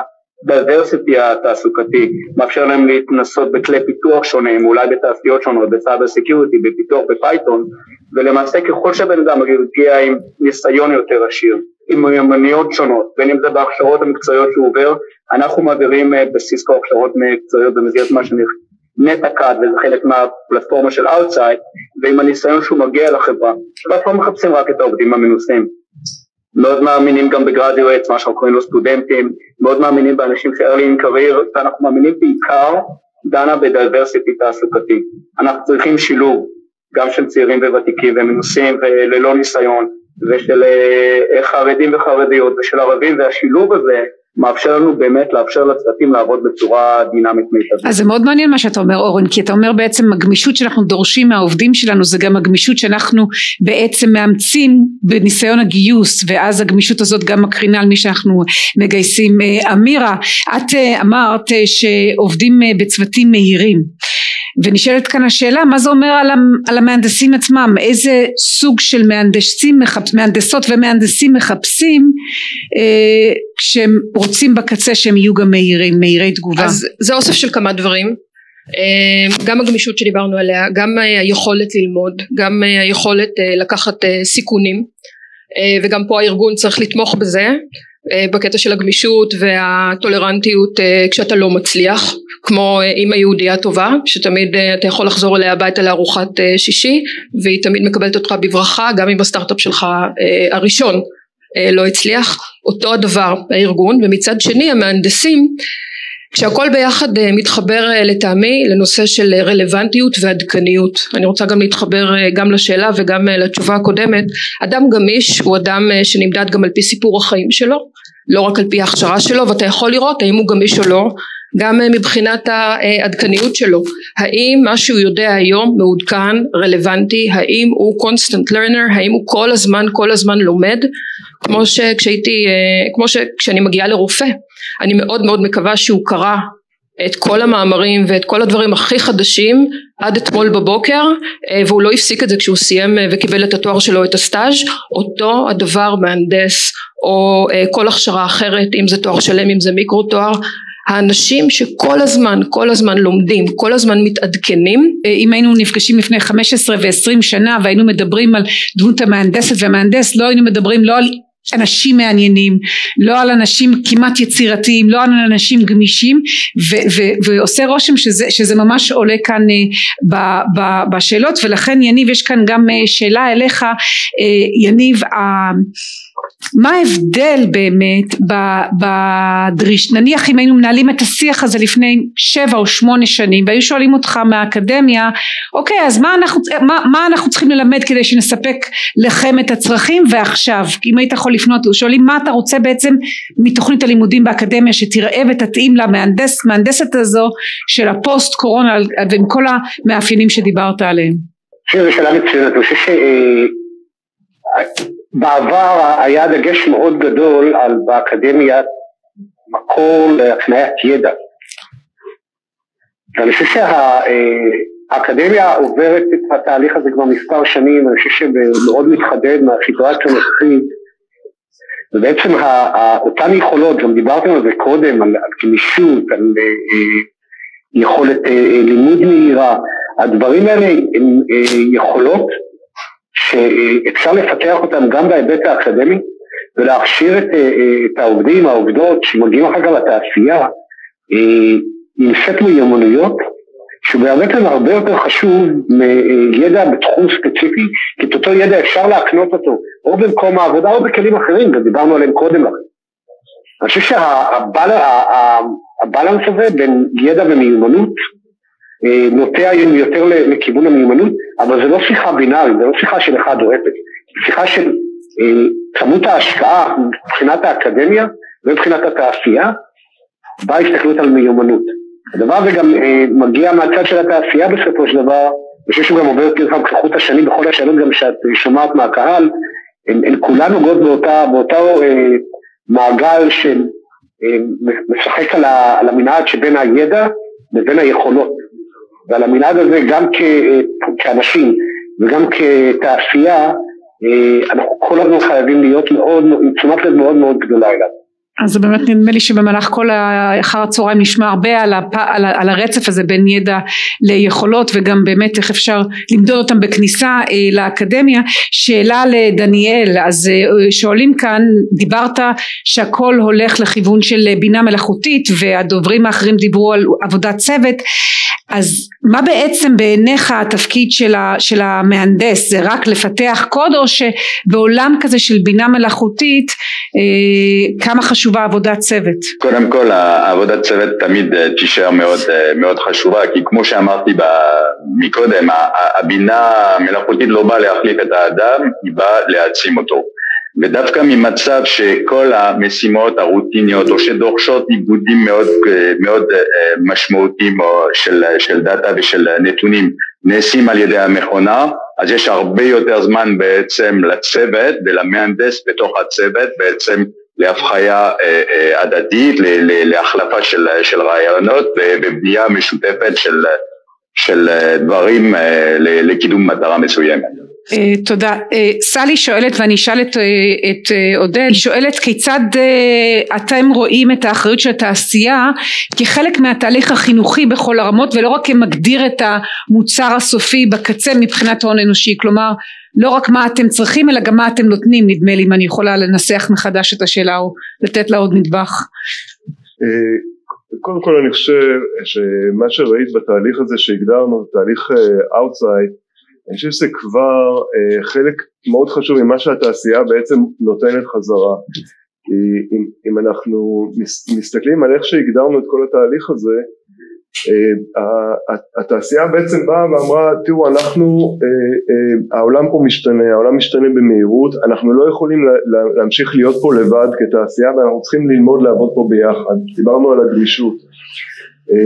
ובתהליך הזה נוצר שיתוף פעולה מדהים בין התעשייה לבין הממשלה לבין המגזר השלישי בתהליך שהוא אה, דו-כיווני, תהליך שבו גם התעשייה מגדירה מה הצרכים אה, וגם נפתחת אה, לדיאלוג כזה שהוא בין האקדמיה לתעשייה, בין התעשייה לממשלה וזה תהליך שהוא דו-כיווני וזה אני חושב משהו מאוד חדשני כשלפני זה אולי התעשייה הייתה עומדת בפני עצמה והממשלה עבדה ועשתה תוכניות וזה ולא היה כל כך הרבה אינטראקציה. ואני חושב שבמיוחד עכשיו בתקופת הקורונה המחיצות האלה נפלו ואנחנו אה, מתקדמים פה לשיתוף פעולה. הבעיות הגדולות של העולם אם זה נושא של העבודה העתידית או נושא של האקלים נושא של הסביבה נושא של פערים חברתיים חייבים שיתוף פעולה כזה בין שלושת המגזרים. אז אהבתי את זה מאוד שאמרת שהמחיצות נפלו בזמן שאתם יושבים אה, במחיצות אבל אין ספק שה, שהעולם הזה אה, בבסיס אנחנו באמת רוצים אה, מגע ואני חושבת שרשמנו בפנינו את המילים גמישות, מהירות, סקרנות, עניין כי זה בטח דברים שילוו אותנו בשאלות בפאנל של האקדמיה אני רוצה מאוד להודות לכם לעודד יושב ראש הפאנל יניב גרטי סגן נשיא ומנכ"ל אינטל ישראל לדניאל מלכה מנכ"ל IBM ישראל, לאורן שגיא מנכ"ל סיסקו ישראל ולדוקטור אמירה שרון סגנית נשיא בכירה חדשנות ומוח בתעשייה האווירית ולכל המברכים והמשתתפים שהשתתפו אה, מרחוק. ועכשיו לפני שנעבור למושב האקדמיה חמש דקות הפסקה באמת חמש דקות ואנחנו משאירים את השידור פתוח ואתם מוזמנים גם להמשיך ולשאול שאלות בצ'אט ואנחנו כמובן נתייחס אליהם בהמשך אז קחו לכם חמש חמש דקות ואנחנו חוזרים. תודה רבה שחזרתם אלינו, ברוכים השבים לכנס ספק החמישי לפיתוח הון אנושי לאומי בהנדסה. I'm reminding all our English speaking viewers that you can listen to the translation. All you have to do is click the little global uh, button on the, on the right hand side uh, of your Zoom screen. אז אחרי שהבנו את התוצר הרצוי ושמענו מהחבר'ה בתעשייה את המילים גמישות ו- ו- ומהירות אנחנו ממשיכים בקו המחשבה ועוברים עכשיו להבין מה זה אומר לגבי האקדמיה? מה הנגזרות של החינוך ההנדסי? מה צריך לעשות כדי להתאים אם בכלל את הלימוד באקדמיה לתוצר הסופי ואיך זה מוביל אותנו לשם על הבמה כבר נמצאים יושב ראש המושב ויושב ראש הכנס פרופסור עמי מויאל נשיא מכללת אפקה ולצידו דוקטור נעמי בק סמנכ"ל אסטרטגיה בינלאומית בוות"ת המועצה להשכלה גבוהה פרופסור יוסי רוזנצווק דיקן הפקולטה להנדסה אוניברסיטת תל אביב וחוקר בתחומי הננו-טכנולוגיה פרופסור רוזה עזרי שתצטרף אלינו מהזום שהיא נשיאה עזריאלי המכללה האקדמית להנדסה ירושלים שמצטרפת מרחוק אבל מקרוב והיא כיהנה בעבר גם כחברת המועצה להשכלה גבוהה במשך שמונה שנים ועמדה בראשות ועדת המשנה של המל"ג להנדסה מדעים ומקצועות הבריאות והייתה גם חברה בוועדות השונות של המל"ג. וגם אחרון חביב כאן איתנו על הבמה פרופסור אורי סיוון נשיא הטכניון ואני מזמינה את פרופסור סיוון לפתוח את המושב הזה. תודה אז ראשית צהריים טובים לכולם או אחר צהריים טובים לכולם. תודה לעמי מויאל על ההזדמנות פה לדבר בפניכם. ובאופן כללי על הכנס הזה שאני חושב שהוא כנס מאוד מאוד חשוב כנס שנמשך שנה אחרי שנה ושם במרכז הבמה נושא מאוד מאוד חשוב שהוא החינוך הטכנולוגי החינוך הטכנולוגי הגבוה. עכשיו נושא הכנס אני חושב שיש לו שני ענפים. אחד מהם זה מהנדס במאה ה-21 שאני לא אעסוק בנושא הזה. אני מאמין שארנון בנטו שמרכז עבודה מאוד מאוד גדולה בנושא ירחיב. אני רוצה לספר לכם דווקא על התלבטויות שיש לנו בעידן הקורונה. אנחנו נמצאים כרגע בתהליך די עמוק של ניסיון להבין מה המשמעויות של עידן הקורונה עבורנו. גם בהנחה שהקורונה איתנו לפחות לאיזושהי תקופה וגם בהנחה שהדברים לא יחזרו למה שהם היו לפני כן. כלומר אני חושב שהקורונה האפקט העיקרי שלה עלינו הוא שהיא האיצה מאוד תהליכים והיא סייעה לנו לעבור איזשהו מחסום פסיכולוגי שאנחנו אה, עמדנו בפניו בכל מה שנוגע למעבר מסיבי להוראה אה, אונליין. אני רוצה להציג לכם, אני אציג את זה אה, בהקשר של הטכניון אבל אני חושב שהמסקנות הן מסקנות הרבה הרבה יותר כלליות נוגעות לדעתי לכל אה, אוניברסיטה אפילו לא רק לאוניברסיטאות אה, טכנולוגיות. קודם כל זה מחשבות ראשוניות. אה, אני חושב שאף אחד מאיתנו עוד לא אה, הפנים את מלוא המשמעויות. אני רוצה להגיד שבנקודת המבט שלנו הקורונה כמובן מביאה איתה משבר כלכלי מאוד מאוד גדול, משבר חברתי שמצטרף אליו, אבל יש בו גם הרבה מאוד, יש בקורונה גם הרבה מאוד הזדמנויות מאחר והיא דחפה את כולנו החוצה מאזור הנוחות שלנו ומשנדחפנו מחוץ לאזור הנוחות אנחנו מוכנים לחדש הרבה יותר מאשר ברגיל. אז בנקודת המבט הזאת הקורונה מאיצה תהליכים ומקלה על אימוץ תפיסות חדשות ואני אנסה להרחיב. אחרי זה אני אנסה להגיד משהו על העידן הפוסט קורונה. אז הנחות המוצא לעבודה הזאת הם קודם כל שהקורונה נשארת איתנו בעצימות משתנה לתקופה ארוכה. אנחנו הגדרנו לעצמנו סדר גודל של שנתיים כלומר אנחנו לא חושבים עליה, אני מקווה שנתבדה, אבל אנחנו לא חושבים עליה כאיזשהו טרנזיינט שיימשך עוד כמה חודשים וייעלם, אלא כאיזושהי תופעה שנצטרך ללמוד לחיות איתה לאורך זמן. Uh, הקורונה תכתיב נוכחות פיזית של סטודנטים בקמפוס בהיקף מוגבל, נניח בין 30 ל-50 אחוז. Uh, הנחות העבודה שלנו הן שמעבדות המחקר יוכלו להמשיך ולעבוד כמעט כרגיל, וחשוב מאוד גם מה קורה בסביבה, ההנחה היא שהמוסדות להשכלה גבוהה בארץ ובעולם כולם יעברו למתכונות דומות שמשלבות נוכחות בקמפוס עם למידה מרחוק. את השקף הבא בבקשה.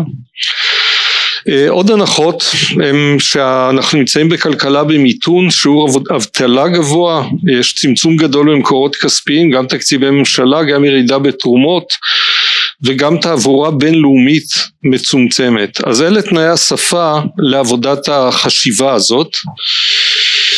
השאלות המרכזיות, אני לא, אין כל כך הרבה זמן להרחיב, אבל אני חושב שבגדול הן מתחלקות לשתיים, לסוגיות מהותיות וסוגיות פרקטיות, תפעוליות. אני רק אציין אותן, לא יהיה לי הרבה זמן להיכנס לתוך הדברים האלה. קודם כל, יש שאלה מאוד עמוקה, תחת ההנחה שחלק גדול מההוראה מה תפקיד האוניברסיטאות בעידן הזה? מה הערך מוסף, מה הערך המוסף של האוניברסיטאות כשכולם יכולים ללמד אה, אה, באופן אה, מקוון וזה מחדד מאוד את השאלה של מה הערך המוסף העיקרי של נוכחות בקמפוס מה הפונקציה של הקמפוס בחיי הסטודנט, מה הפונקציה שלו עבור חברי הסגל, עבור החברה, עבור, עבור המדינה. בהקשר הטכניוני אנחנו שואלים את עצמנו אם חלק גדול מההוראה הוא חלק, הוא מקוון, מה מייחד את החוויה הסטודנטיאלית דווקא בטכניון, אבל זה נכון לכל מוסד. אם מלמדים אונליין, אם הכל אונליין, אז כל האוניברסיטאות הן אותו דבר, והשאלה היא איך מייצרים איזושהי חוויה ייחודית לאוניברסיטה אה, ספציפית. אה, שאלה מאוד עמוקה היא גם מה יישאר איתנו לטווח הארוך, מה יקרה בעידן הפוסט קורוני, ההנחה שלנו, הניחוש שלנו זה שחלקים אה, יישארו איתנו, כלומר הקורונה היא מאיץ ולא רק משהו שהגיע, הגיח וייעלם. השאלות האופרטיביות הן כמובן מה ילמד, מה יערך בקמפוס, איך תראה בכלל מתכונת הלימודים, מה אה, אונליין, מה ילמד בקמפוס, איך מנצלים באופן מיטבי את השהות בקמפוס. השאלות האופרטיביות כמו שאמרתי הן אה, כמובן מה ילמד, מה יערך בקמפוס, מה מתכונת הלימודים האופטימלית, איך מנצלים בכלל את השטחים הפיזיים. אה, יכול להיות שלא צריך כיתות לימוד, צריך איזה מרחבים אחרים אה, לחלוטין. יש שאלות מאוד כבדות שקשורות להערכה, אנחנו נמצאים כעת במערכת בחינות שהיא רובה מקוונת, היא מאוד מאוד מעניינת, אני מוכרח לומר, בין השאר אנחנו חששנו מהעתקות מסיביות, אני מוכרח להגיד שהסטודנטים מגדלים, מגלים אה, אה, הרבה מאוד בגרות העתקות מעטות לשמחתי. יש שאלות של איך מאתרים איך מגייסים אנשים איך אה, ממיינים מועמדים וגם מי הם קהלי היעד. בסשן הקודם שמעתם את אנשי התעשייה אנחנו מדברים הרבה מאוד על lifelong learning על סטודנטים בינלאומיים וכן אה, הלאה. הדיון הזה אני חושב מחייב אוניברסיטאות לשאלות לחשיבה על השאלות העמוקות ביותר שהן מה בעצם המשמעות של אוניברסיטאות האוניברסיטה היום, מה החשיבות של הנגישות הפיזית, אה, ברור לנו שהרבה יותר סטודנטים ישלבו לימודים עם אה, עבודה, אה, יהיה גידול מאוד מאוד גדול בקהלים הרלוונטיים ומצד שני לימודים כנראה ייפרסו על תקופות ארוכות יהיו יחד עם עבודה. תחרות בינלאומית הרבה יותר קשה יש הרבה מאוד היבטים שצריך להבין אותם ונוגעים לליבת אה, האוניברסיטה. אז זהו, האתגר הגדול הוא כנראה איך ליצור חוויה סטודנטיאלית משמעותית. כלומר איך לייצר את החוויה, במקרה שלנו החוויה הטכניונית, כאשר חלק גדול נעשה אונליין, ויש כל מיני אפשרויות, אפשרות אחת זה שהקמפוס כולו מתפקד ככיכר העיר, אי אפשר לייצר קוהורטים של למידה משותפת משמעותית על בסיס גיאוגרפי, חוויות חברתיות היברידיות, אנחנו צריכים להמציא במידה רבה את האוניברסיטה מחדש. הניחוש הוא שהלימוד הדיגיטלי שכמובן יבוא יחד עם חוויה בתוך הקמפוסים המתכונת הזו תישאר. אנחנו מאמינים שלא נחזור ללימוד פרונטלי בלבד.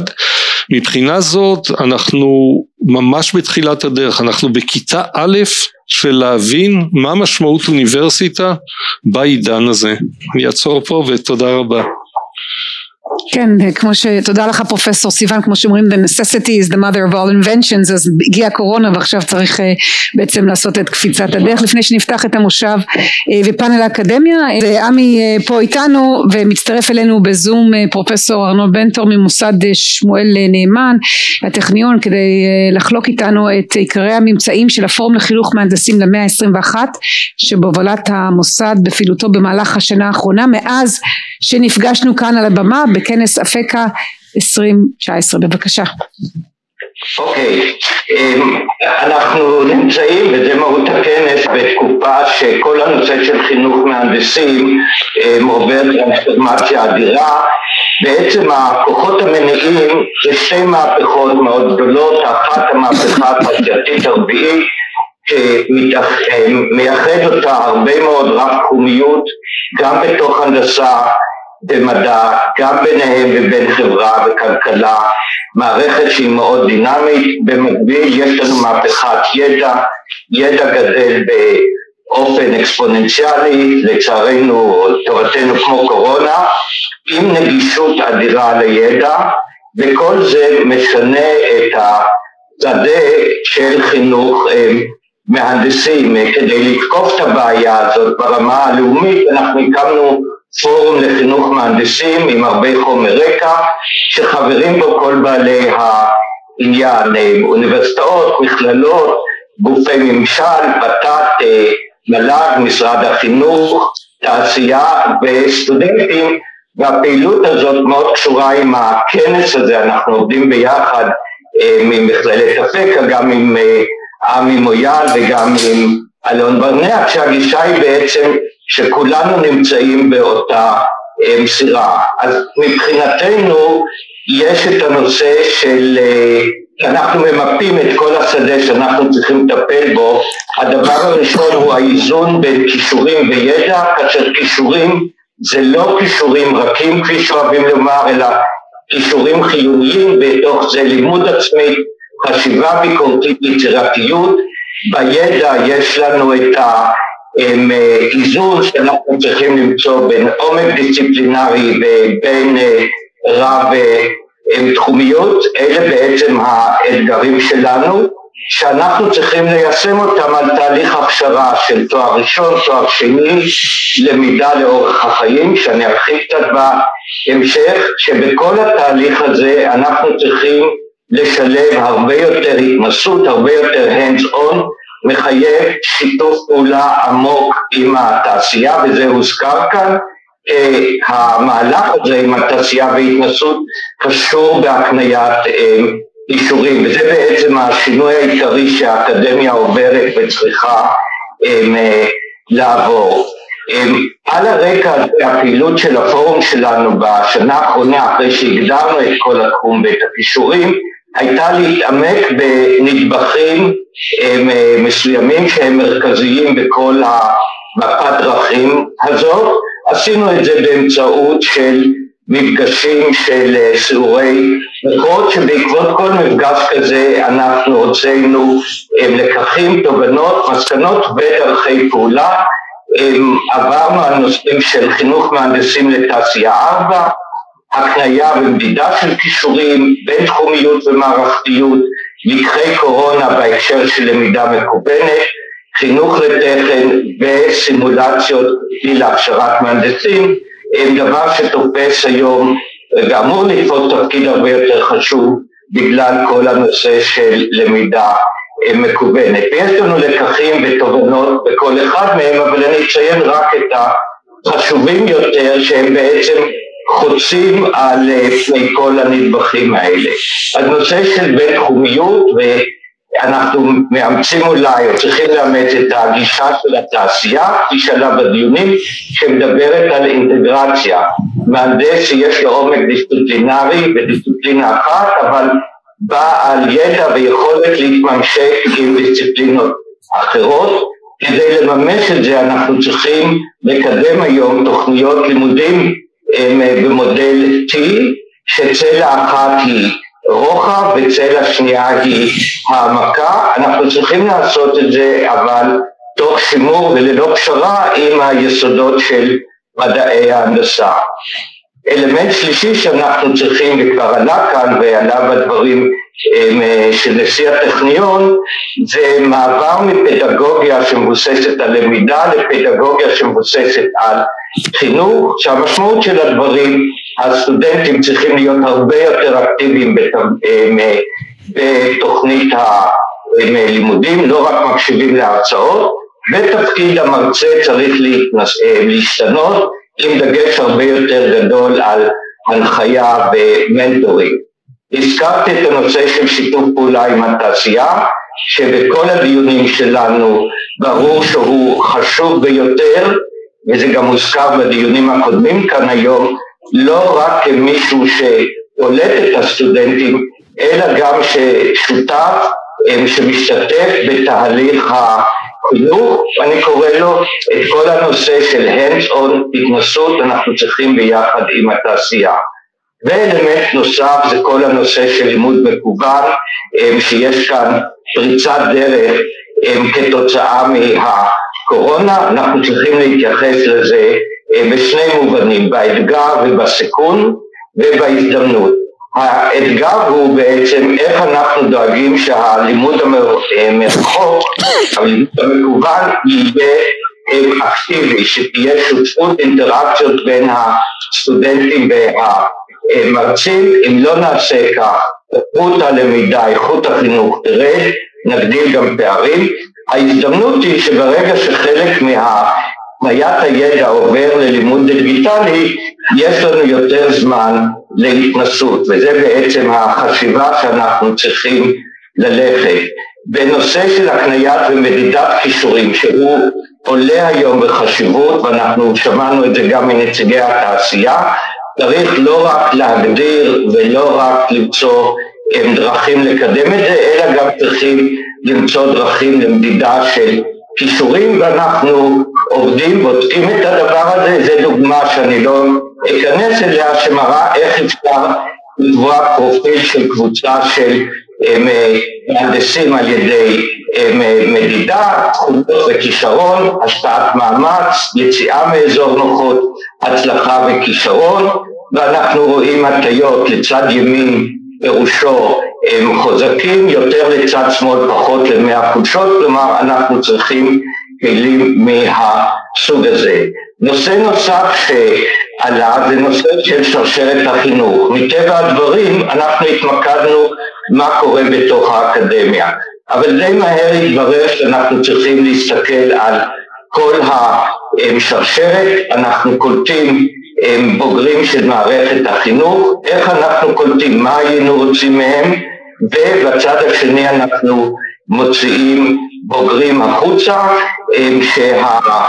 שהתהליך של הלמידה שלהם לא מסתיים עם סיום התואר, ואנחנו מגדירים לעצמנו מה צריך לפעול בתוך השרשרת, זה חדש יחסית, באינטרפייס והממשק עם בתי הספר אנחנו מתחילים להיכנס לכל הנושא של מיון וקבלה, מה אנחנו רוצים במיון, איך אנחנו מגדירים את התוצרים של בתי ספר, אבל לעבוד עם בתי הספר בהרמוניה כדי שיהיה לנו רצף. בצד השני, מי שיוצא מאיתנו, אנחנו צריכים לתת את הדעת על לימוד לאורך החיים, הוזכר כאן בצורה בולטת על ידי אנשי התעשייה, קריירה של עשרות שנים, וכאן לאקדמיה יש שני תפקידים שאנחנו צריכים להתארגן אליהם. האחד, תוכנית הלימודים צריכה להיות כזאת שמכשירה את הבוגרים להמשיך וללמוד לאורך החיים.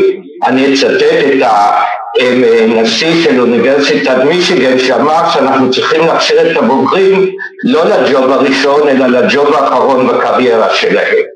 במקביל יש ציפייה וראינו את זה מהתעשייה שהאקדמיה תהיה שותפה בלימוד לאורך החיים. זאת אומרת שאנחנו צריכים לעשות איזה שינוי בחשיבה שלנו ולהבין שיש לנו גם אחריות למה שקורה לבוגרים שלנו מבחינה מקצועית לאחר סיום לימודיהם, יש לזה משמעות מבחינת ייעוד האוניברסיטה ודרכי הפעולה.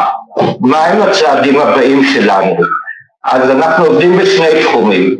התובנות שקיבלנו, איך אנחנו מיישמים אותם, ויש לנו מספר אה, נושאים, אנחנו ביחד עם ות"ת אה, גיבשנו אה, מהלך של קול קורא ליישומי חלוץ להתחיל לעודד פעילויות מהשטח, כי בסופו של דבר מי שיובילו את השינויים זה חברי סגל שירתמו ויצללו לתוך העניין בדרכים יצירתיות, זה עדיין מתעכב בגלל נושאי תקציב, אני לא צריך להסביר על רקע מה שקורה במדינה, נושא שני הוא הערכת ומדידת כישורים, שזה אלמנט חשוב בכל הנושא של הכשרה לכישורים, מתחיל פיילוט בשלוש אה, מכללות, אבחון באמצעות מודל שנקרא חמשת היבשות, מתחילים עם הערכה של סטודנטים בשנה א' ושנה ד', ואנחנו מקדמים פיילוט בממשק בין אקדמיה ובתי ספר בכל הנושא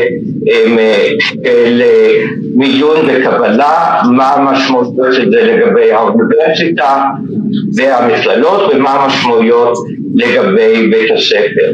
הנושאים שאנחנו רוצים להתעמק בהם במפגשים שלנו בסורי מוחות בתקופה הקרובה הם לימוד לאורך החיים, שזה בעצם הממשק עם שוק העבודה העתידי, ואנחנו ראינו גם בדיונים שלנו בא לידי ביטוי בולט בחלק הראשון היום שוק העבודה העתידי, נושא של מיון וקבלה זה אותו ממשק עם חינוך בבתי ספר, למידה מקוונת, מה אנחנו צריכים לעשות כדי שהיא לא תיעצר בלימוד מרחוק אלא תהיה לימוד מקוון פעיל, מחייב כלים טכנו-פדגוגיים חדשים ונושא של הנדסה ויזמות חברתית, זאת אומרת הממשק שלנו עם החברה, לא רק הממשקים בתוך ההנדסה והמדע, לכל אחד מהנושאים האלה אנחנו מכינים גם דוחות רקע שמנתחים מה קורה בארץ, מה קורה בעולם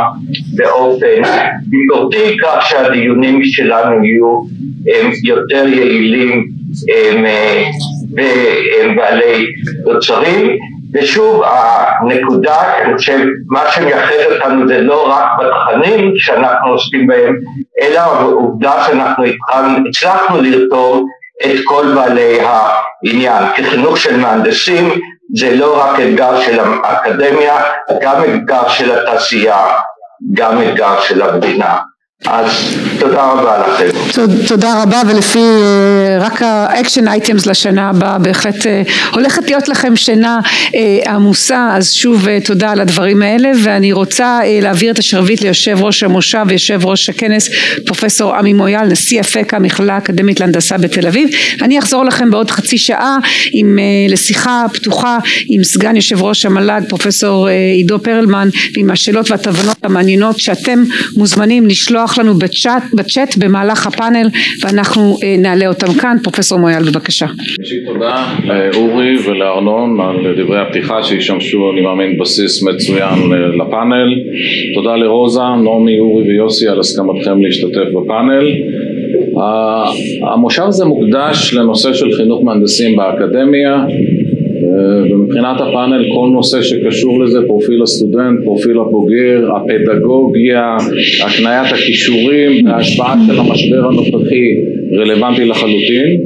מושב התעשייה לפנינו הציב בפנינו שני אספקטים שאני רוצה שאני אתייחס אליהם, קשרי אקדמיה תעשייה ודמות המהנדס כפי שהתעשייה מציגה אותו, מה ההתייחסות שלנו לזה והאם אנחנו הולכים לעדכן את תוכנית הלימודים ובאופן טבעי אני מניח שמשבר הקורונה פה שזור לכל האורך והוא נושא מהותי, נתייחס גם להשפעות שלו, אבל יש אחרינו גם מושב שעוסק בסטם בבתי הספר במערכת החינוך והוא עוסק ספציפית בשילוב של חינוך להנדסה כחלק מסטם אז אפשר להתייחס גם לזה. לפאנל יהיו שני חלקים, שלושת חברי הפאנל שלא דיברו, רוזה, נעמי ויוסי יקבלו כל אחד ארבע דקות כדי להציג את תפיסת העולם שלהם או את הנקודות העיקריות שהם היו רוצים לשים על השולחן ואחרי זה נעבור למשהו יותר אינטראקטיבי, לשאלות שאני אפנה לכל אחד מחברי הפאנל, אבל אני יותר מאשמח שנגיב אחד על דברי השני ושיתפתח קצת דיון אה, ספונטני. בתום, ה, בתום הפאנל יצטרף אלינו פרופסור עידו פרלמן, סגן יושב ראש המל"ג, שיעשה במה פתוחה עם הקהל בהנחיה של דנה. אז אה, נתחיל, בבקשה רוזה. ארבע דקות, תפיסת עולמך, נקודות עיקריות רלוונטיות לנושא. טוב, אני רציתי לדבר בעיקר על השינויים שהמשבר הנוכחי מחייב אותנו לעשות והדברים האלה עלו לאורך השיחות הקודמות יש בעצם שלושה נושאים שאנחנו צריכים להתעסק בהם. אחד זה מה אנחנו מלמדים, השני הוא איך אנחנו מלמדים והשלישי את מי אנחנו מלמדים. אלה הנושאים שאני רוצה לדבר עליהם. מבחינת מה מלמדים אני חושבת שזה היה מאוד בולט בפאנל הקודם שהשתנו פה אה, הדרישות אה, מהתעשייה. הנושא שעלה בצורה מאוד משמעותית זה הנושא של הגמישות, עבודה בתנאי חוסר ודאות, גם התעשייה עובדת בתנאי חוסר ודאות, גם אנחנו עובדים בתנאי חוסר ודאות וגם הבוגרים שלנו יצטרכו לעבוד בתנאי חוסר ודאות ואני חושבת שאם אנחנו מסתכלים על רשימת הכישורים החיוניים שאנחנו בנינו בעמל רב אה, בשנתיים פלוס האחרונות אז הנושא הזה לא, לא היה גבוה מאוד ברשימה אבל הוא יצטרך לעלות כנראה למקום מספר אה, אחד. אז אה, זאת הנקודה הראשונה של מה אנחנו מלמדים. בנוסף לנושאים שארנון דיבר עליהם של איך אנחנו מאזנים בין הידע הדיסציפלינרי לבין הכישורים אז אנחנו גם צריכים לעשות איזושהי חשיבה מחדש על הכישורים עצמם. זאת הנקודה הראשונה. הנקודה השנייה היא על איך מלמדים. אז נכון שהמשבר הזה בעצם הוריד לנו חסמים שחששנו מהם מאוד בנושא של אימוץ טכנולוגיה על ידי המרצים שלנו, על ידי המערכות שלנו וכולם באמת בצורה מדהימה עברו ללמד בזום תוך זמן מאוד קצר, תוך שבוע רוב המוסדות כבר עברו להוראה בזום והמרצים הסתגלו לזה והם אפילו הסתגלו לבחינות מקוונות שהיה קצת יותר מורכב אבל אני חושבת שהמעבר הזה לזום גם הציף לנו לא רק מה עובד אלא גם ובעיקר מה לא עובד והמסקנה הכי גדולה שאנחנו יצאנו ממנה מהמשבר הזה היא שצריך לעשות לא רק שינוי בטכנולוגיה של הלמידה אלא גם שינוי בפדגוגיה של הלמידה. זאת אומרת להגיד הוראה מקוונת ולעשות את מה שאנחנו יודעים לעשות ליד לוח תוך שימוש במערכת הזום זה, זה, זה לא לימודים מקוונים. יש לנו כל מיני דגמים של הוראה שהתפתחו תוך כדי הסמסטר הזה ואני חושבת שזאת נקודת מוצא טובה לחשוב על הצורה שבה אנחנו עושים את ההוראה המקוונת ואני חושבת שהשאלות שאורי העלה במצגת שלו של באמת מה תפקיד הקמפוס, איך אנחנו באמת משתמשים בקמפוס להשלים את, ה, את הידע שאנחנו יכולים להעביר בצורה מקוונת, זה, זה נושא מאוד מאוד מרכזי ומאוד חשוב כי אם היו לנו כל מיני מודלים שדיברנו עליהם, project based learning, אז ברור שנצטרך לעשות את זה עכשיו אחרת, אם היו לנו מודלים של אה, הקניית אה, ידע רב תחומי על ידי אינטראקציה בין סטודנטים אה, ממחלקות שונות, אז ברור שנצטרך לעשות את זה בצורה שונה, ואני חושבת שבהקשר הזה אני חושבת ש... גם אם אנחנו משלבים את זה וגם משלבים את הנושא של הכישורים, אנחנו בעצם סוגרים איזשהו מעגל, כי אם בתחילת האקדמיה היה מדובר על אנשי רנסאנס שידעו והתפרסו על הרבה מאוד תחומים ולאט לאט הלכנו והתמקצענו ונכנסנו ליותר ויותר נישות של התמקצעות, עכשיו אנחנו בעצם חוזרים אחורה ואנחנו אומרים רגע לא מספיק שנוציא מהנדס שהוא מומחה בתחום אחד, אנחנו צריכים גם שהוא ידע לעבוד בצורה קצת יותר רחבה, תהיה לו ראייה יותר רחבה וכישורים שיאפשרו לו לעבור מנושא לנושא על ידי למידה עצמית ובואו נעלה את זה לסדר העדיפויות שלנו. הנושא השלישי שאני רוצה לדבר עליו זה הנושא של את מי אנחנו מלמדים ופה אני רוצה להכניס את הנושא של אוכלוסיות מיוחדות ערבים חרדים ובמידה מסוימת בתחום של הנדסה גם נשים. אני חושבת שהמשבר הזה חידד בצורה מאוד מאוד עמוקה את הנושא של זמינות התשתיות ויכולת הלמידה של אותן אוכלוסיות בעיקר אצלנו זה הערבים ממזרח ירושלים ונשים חרדיות שאם אנחנו עוברים ללמידה שאיננה בקמפוס אנחנו צריכים לקחת בחשבון שנצטרך למצוא פתרונות לאוכלוסיות האלה כי אי אפשר להגיד להם אוקיי תלמדו מהבית, נצטרך לחשוב על מרכזי למידה בכל מקרה. אז אלה שלוש הנקודות שרציתי להציג. רוזה, תודה רבה לך. נעמי, בבקשה. תודה רבה. קודם כל תודה רבה על ההזדמנות להשתתף בפאנל המכובד הזה ובכנס החשוב הזה. אני רוצה להתחבר למה שאמר נשיא הטכניון פרופסור אורי סיוון בסוף המצגת שלו. הוא השתמש בביטוי אנחנו עדיין בכיתה א' ואני חושבת שהביטוי הזה גם נכון עבור הרגולטור והמתקצב העיקרי של מערכת ההשכלה הגבוהה. זה, זה נכון שאת התוכנית הרב שנתית הנוכחית התחילה פרופסור יפה זילברשץ יו"ר הות"ת כשחרוט על דגלה נושא הלמידה הדיגיטלית ונעשו מהלכים משמעותיים לקידום התחום בין היתר באמצעות שיתוף פעולה עם מטה ישראל דיגיטלית והעלאה של קורסים דיגיטליים על פלטפורמות בינלאומיות כמו אדקס ועל פלטפורמה לאומית שנוצרה בין היתר למטרה הזאת. אבל אז הגיעה הקורונה וטרפה את הקלפים בצורה כל כך דרמטית שכל העסק קיבל תאוצה משמעותית הייתי אומרת אפילו נכנס לאיזשהו סחרור מסוים ואנחנו באמת לא יודעים עדיין האבק עוד לא שקע ואנחנו לא יודעים עדיין איך נראה ה-new normal הזה שכולם מדברים עליו היום שאחר כך הפוסט קורונה ויש כאן הרבה מאוד למידה לעשות. מה שמנחה אותנו האמת מלכתחילה בנושא של למידה דיגיטלית וגם במיזמי דגל אחרים שאנחנו מקדמים בתוכנית הרב שנתית הנוכחית הוא בעצם הנושא של כמה שיותר גמישות ועבודה כמה שיותר הדוקה ביחד עם, ה, עם השטח ביחד עם המוסדות להשכלה הגבוהה עצמם שהם בעצם המבצעים של כל התוכניות האסטרטגיות הגדולות שלנו ושל השינויים, שינויי המדיניות שאנחנו מעוניינים להוביל ופה זה חשוב יותר מהכל. אני רוצה להתחבר גם למה שאמר מנכ"ל אינטל במושב הקודם יניב גרטי כשהוא דיבר על הנושא של האקדמיה בעצם צריכה להקנות יכולות ולאו דווקא ידע או איזשהו שינוי ש, ש, ש, שבמאזניים האלה אם אני לא טועה הוא דיבר על 60 אחוז יכולות ו-40 אחוז ידע אני לא אגיד מה, מה דעתי בנושא הזה אבל מה שבטוח היא שאחת היכולות העיקריות שהאקדמיה יכולה להקנות היא יכולת הלמידה.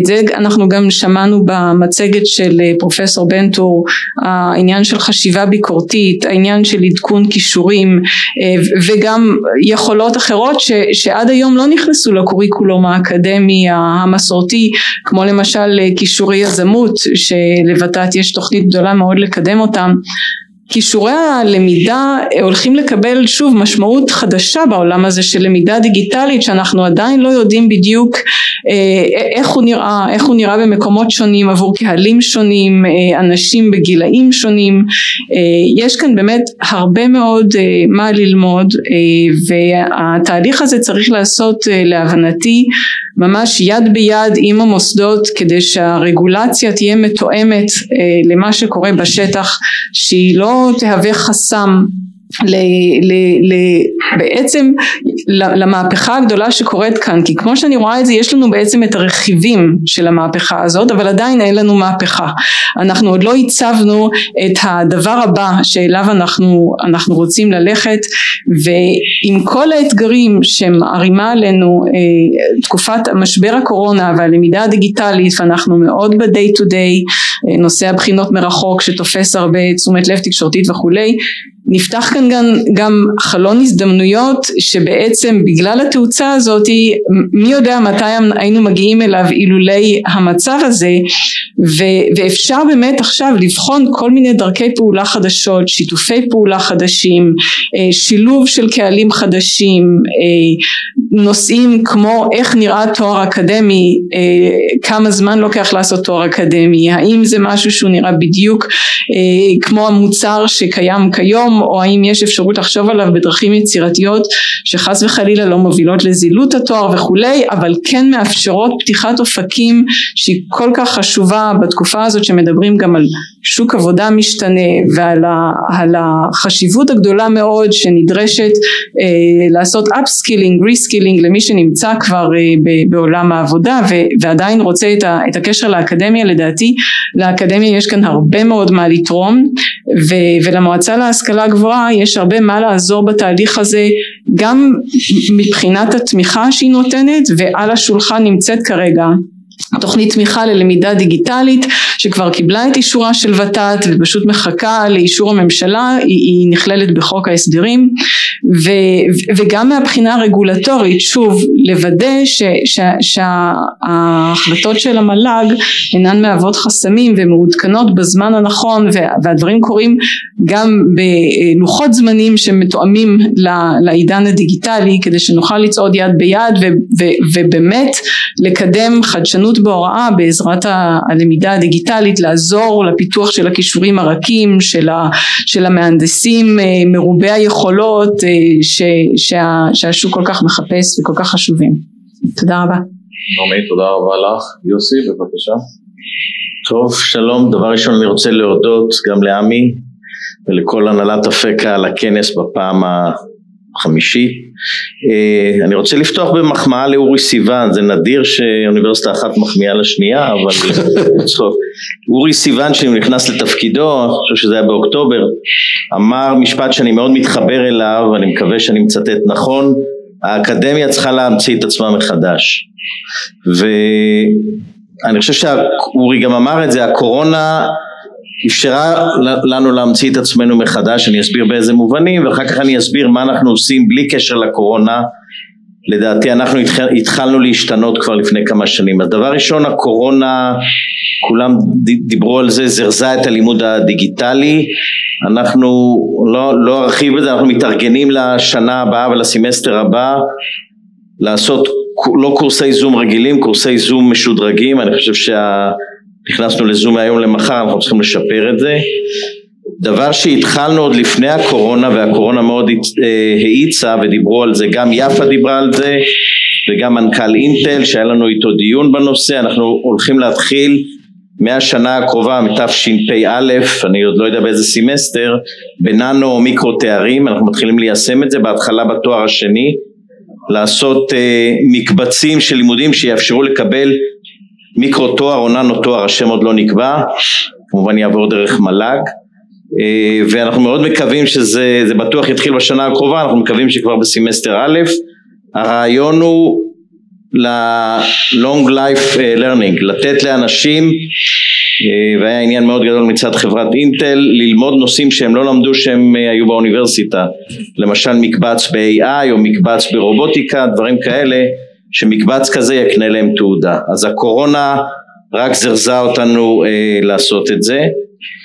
דברים נוספים שהתחלנו אה, לפני הקורונה ואנחנו ממשיכים איתם אז זה מה שדיבר עליו גם ארנון זה הלמידה הרב תחומית אנחנו התחלנו לפני כמה שנים בתוכנית רחבה יחסית של הנדסה ורוח אנחנו מתחילים להכניס את לימודי הרוח יש לנו יתרון בנושא הזה שיש לנו פקולטה למדעי רוח מאוד מאוד טובה ושמכסה את כל התחומים אנחנו מכניסים הולכים להכניס את uh, לימודי מדעי הרוח לא רק בהנדסה גם במדעים מדויקים וגם במדעי החיים החל מתשפ"ב כחובה בהיקף מסוים ואני חושב שזה מאוד יעזור למה שדיברו עליו על הרב תחומיות והכישורים שהמהנדס צריך איתו זהו אני חושב שעל רוב הדברים דיברו אני אעצור כאן ואני אשמח יותר להתייחס לשאלות ודברים אחרים בהמשך. אוקיי okay, תודה רבה יוסי תודה לכל הדוברים עד עכשיו נעבור לשלב של שאלות ותשובות אבל חייב לתת איזשהו פרספציות ראשוני שלי שאני בדעה הזאת וראיתי אבל שרוב הדוברים תמימי דעים לגבי זה שמשבר הקורונה קודם כל הוא לא אירוע קצר בזמן הוא לא טרנזיאנט כדברי החוקרים ושניים שההשפעה שלו היא הרבה מעבר לאירוע של הוראה מקוונת או למידה דיגיטלית. אני דיברתי על נקודת עבודה חדשה אורי דיבר על הגדרה של שאלה מהי אוניברסיטה ומה תפקידה ומה הקשר עם הסטודנטים. רוזה בכלל הלכה לשאלות שאני גם מתחבר לשאלות של מה אנחנו מלמדים ומי אנחנו מלמדים זאת אומרת אני רואה שיש פה הסכמה כוללת כל אחד מתפיסת העולם שלו שזה לא אירוע לא קצר בזמן ולא בעל השפעה קטנה זה זה גל הדף, אה, זה גל הדף גדול, אז זה כבסיס לשיח. אה, נעבור קצת לשאלות, אורי ברשותך שאלה ראשונה, דיברת על השינוי ועל ההנכחה בקמפוס, הייתי שמח אם היית מתייחס קצת יותר לנושא של הפדגוגיה, אנחנו הרבה מאוד שנים רוצים לשנות את הפדגוגיה, בפורום חינוך מהנדסים דיברנו על PBL, שינוי הפדגוגיה, עכשיו קפצנו לזום שאני קורא לו הוראה מרחוק ועדיין לא הוראה מקוונת, אם נסתכל בזום רק על הפדגוגיה, איך אתה רואה את הפדגוגיה משתנה בכלל ובפרט בחינוך מהנדסים כשאנחנו רוצים להקנות את הכישורים? אה, אז זו באמת אה, שאלה שאנחנו עוסקים בה הרבה מאוד. אה, אני, אני אתייחס, התכנים הם חלק בלתי נפרד מה, מהפדגוגיה, אני מוכרח להגיד. הטכניון באופן מסורתי כמובן, אתה יודע, מלמד אה, מדעים בצורה מאוד מעמיקה, מתמטיקה בצורה מאוד מעמיקה, הנדסה בצורה מאוד מעמיקה, אבל אנחנו הבנו שמכיוון ואנחנו מכוונים לחנך את המנהיגים, את המנהיגים העתידיים, אנחנו צריכים גם להבנות לתוך תוכנית הלימודים היבטים שאנחנו עד היום לא לימדנו. אה, כשמנסים להבין מה מאפיין מנהיגים, אז אני חושב ש... או מנהיגים טכנולוגיים לפחות, מה שמאפיין אותם אני חושב זה העובדה שהם יודעים למקם את מה שהם עושים טכנולוגית בתוך קונטקסט הרבה יותר רחב, בתוך קונטקסט חברתי, בתוך קונטקסט סביבתי. אה, ואנחנו עכשיו בתהליך של פיתוח תוכנית מאוד רחבה אני חושב שמה שנעשה באוניברסיטת תל אביב מדעי הרוח זה, זה דוגמה קונקרטית לדבר הזה. אנחנו מתייחסים דווקא להיבטים קצת אחרים אבל אה, הזדמנות לסטודנטים שלנו להתנסות בהפעלה של מה שהם לומדים. ופה זה מגיע לפדגוגיה. הפעלת התכנים שהם לומדים במסגרת הנדסה במסגרת מדעים על בעיות חברתיות על בעיות סביבתיות ואני מאמין שהחשוב בזה זה זה שזה שם באיזושהי פרספקטיבה יותר רחבה את מה שהם אה, לומדים. אני חושב שזה יהפוך אותם לא רק למהנדסים יותר טובים, למדענים יותר טובים, אבל זה יהפוך אותם אני חושב לחלק, אה, זאת אומרת זה, זה, זה מרכיב אני חושב חשוב מאוד באישיות אה, שלהם צריך להיות. אוקיי, okay, תודה. יוסי, גם היום וגם uh, במפגש שקיימנו בפורום חינוך מהנדסים, uh, שנינו הצגנו את הבעיות שאנחנו חווים במשבר הקורונה, מעלה שלמעשה כמעט כל המוסדות האקדמיים עוברים את אותו תהליך, את אותה מחשבה ואת אותו, ואת אותו מאמץ. האם, האם אתה חושב שיש מקום לשיתוף פעולה בין מוסדות אקדמיים? כי אני גיליתי שכולנו מתמודדים עם אותן שאלות, נותנים תשובות פחות או יותר אפסילון ימינה שמאלה, אין היגיון שנשתף פעולה, מוסדות להנדסה, פקולטות להנדסה, כדי לייצר תשתית משותפת, מה דעתך ואם כן, מה, מה אפשר לעשות? אז א', אה, בוודאי, וזה קורה בצורה בלתי פורמלית, אנחנו כל הזמן מחליפים דעות, מתייעצים עם עמיתים שלנו מכל האוניברסיטאות והמכללות, איך לעשות את הבחינות, איך לעשות את הקורסים.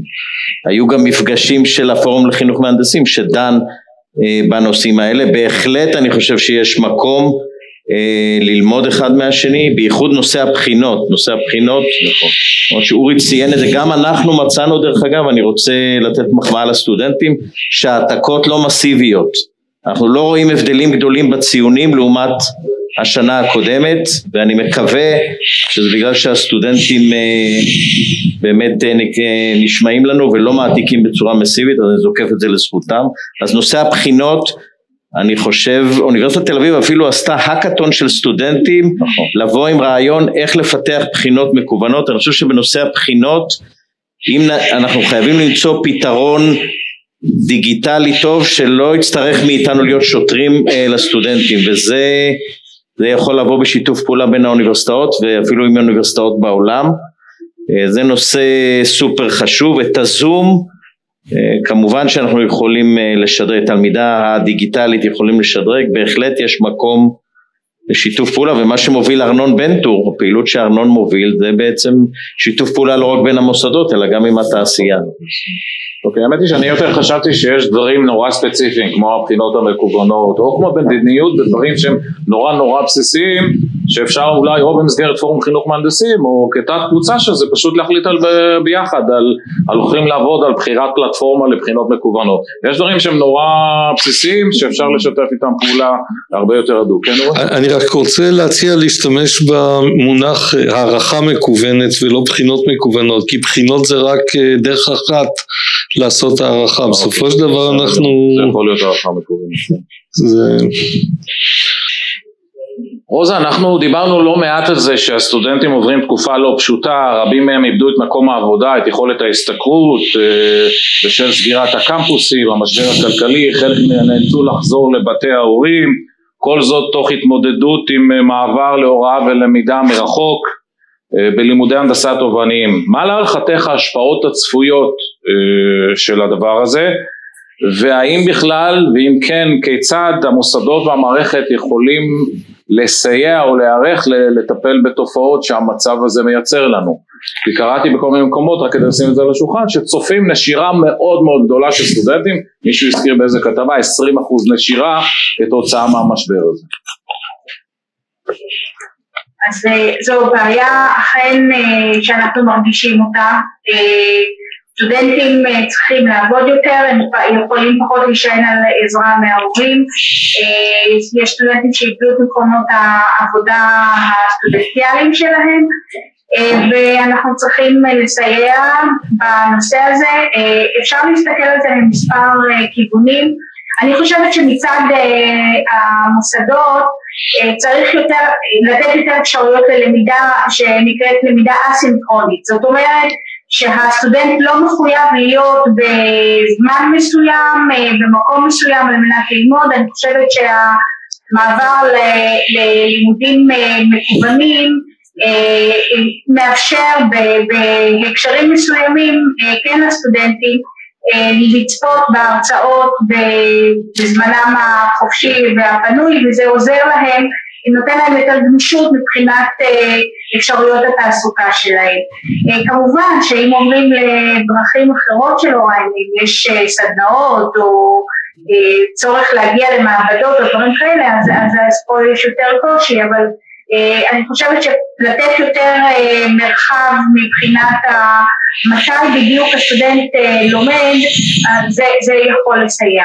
נקודה אחרת שלדעתי אה, היא מאוד חשובה וזאת נקודה שאני חושבת אה, ללא כל קשר למשבר צריך אה, לעודד אותה זה יותר ליצור את הקשר בין התעשייה לסטודנטים עוד בתקופת הלימודים ולהביא למודלים של תמיכה בסטודנט תוך כדי הלימודים שלו. יש לזה מודלים שכבר עובדים, יש עתידים לתעשייה ש... ש... מסגרת שבה לומדים סטודנטים מהפריפריה ועובדים תוך כדי הלימודים בתמיכה של התעשייה. אפשר לדעתי להרחיב את המודלים האלה וזה א' גם יחזק את הקשר אה, בין המוסדות לתעשייה, יש אה, פידבק מיידי, יש אה, אנשי קשר בתעשייה שעובדים עם האקדמיה וזה לדעתי קשר מאוד רצוי וחיובי. ומצד שני זה גם מאפשר לתעשייה לזהות עובדים ולטפח עובדים עתידיים וכמובן זה נותן לסטודנט את רשת הביטחון הכלכלית שמאפשרת לו לסיים את הלימודים שלו בצורה יותר נמוכה. אפשר כמובן לחשוב על עוד מודלים, אבל אלה, אלה שתי נקודות ש, חושבת ששווה לפעול אה, בכיוון שלהם. רוזה, תודה. יש לנו זמן לעוד שאלה אחת קצרה ברשותכם, אני רוצה לשאול את נעמי. התייחסת לזה בקצרה ואני יודע שזה אולי מוקדם מדי לדבר על זה, אבל קצת הלך הרוח והמחשבות במל"ג, אנחנו הרי מסיימים את התוכנית הרב שנתית בעוד שנתיים ואני מניח שעוד איקס חודשים יתחילו לדבר על התוכנית הרב שנתית הבאה. הרהורי לב, לא מחייבים, מה, ספרי לנו קצת, מה המחשבות כיוונים, שינוי מהותי, מג'ורי, דיון, איך התהליך שהתנהל בכלל לגבש את התוכנית הרב שנתית? למוסדות יהיה הרבה מאוד מה להגיד בגיבוש הזה.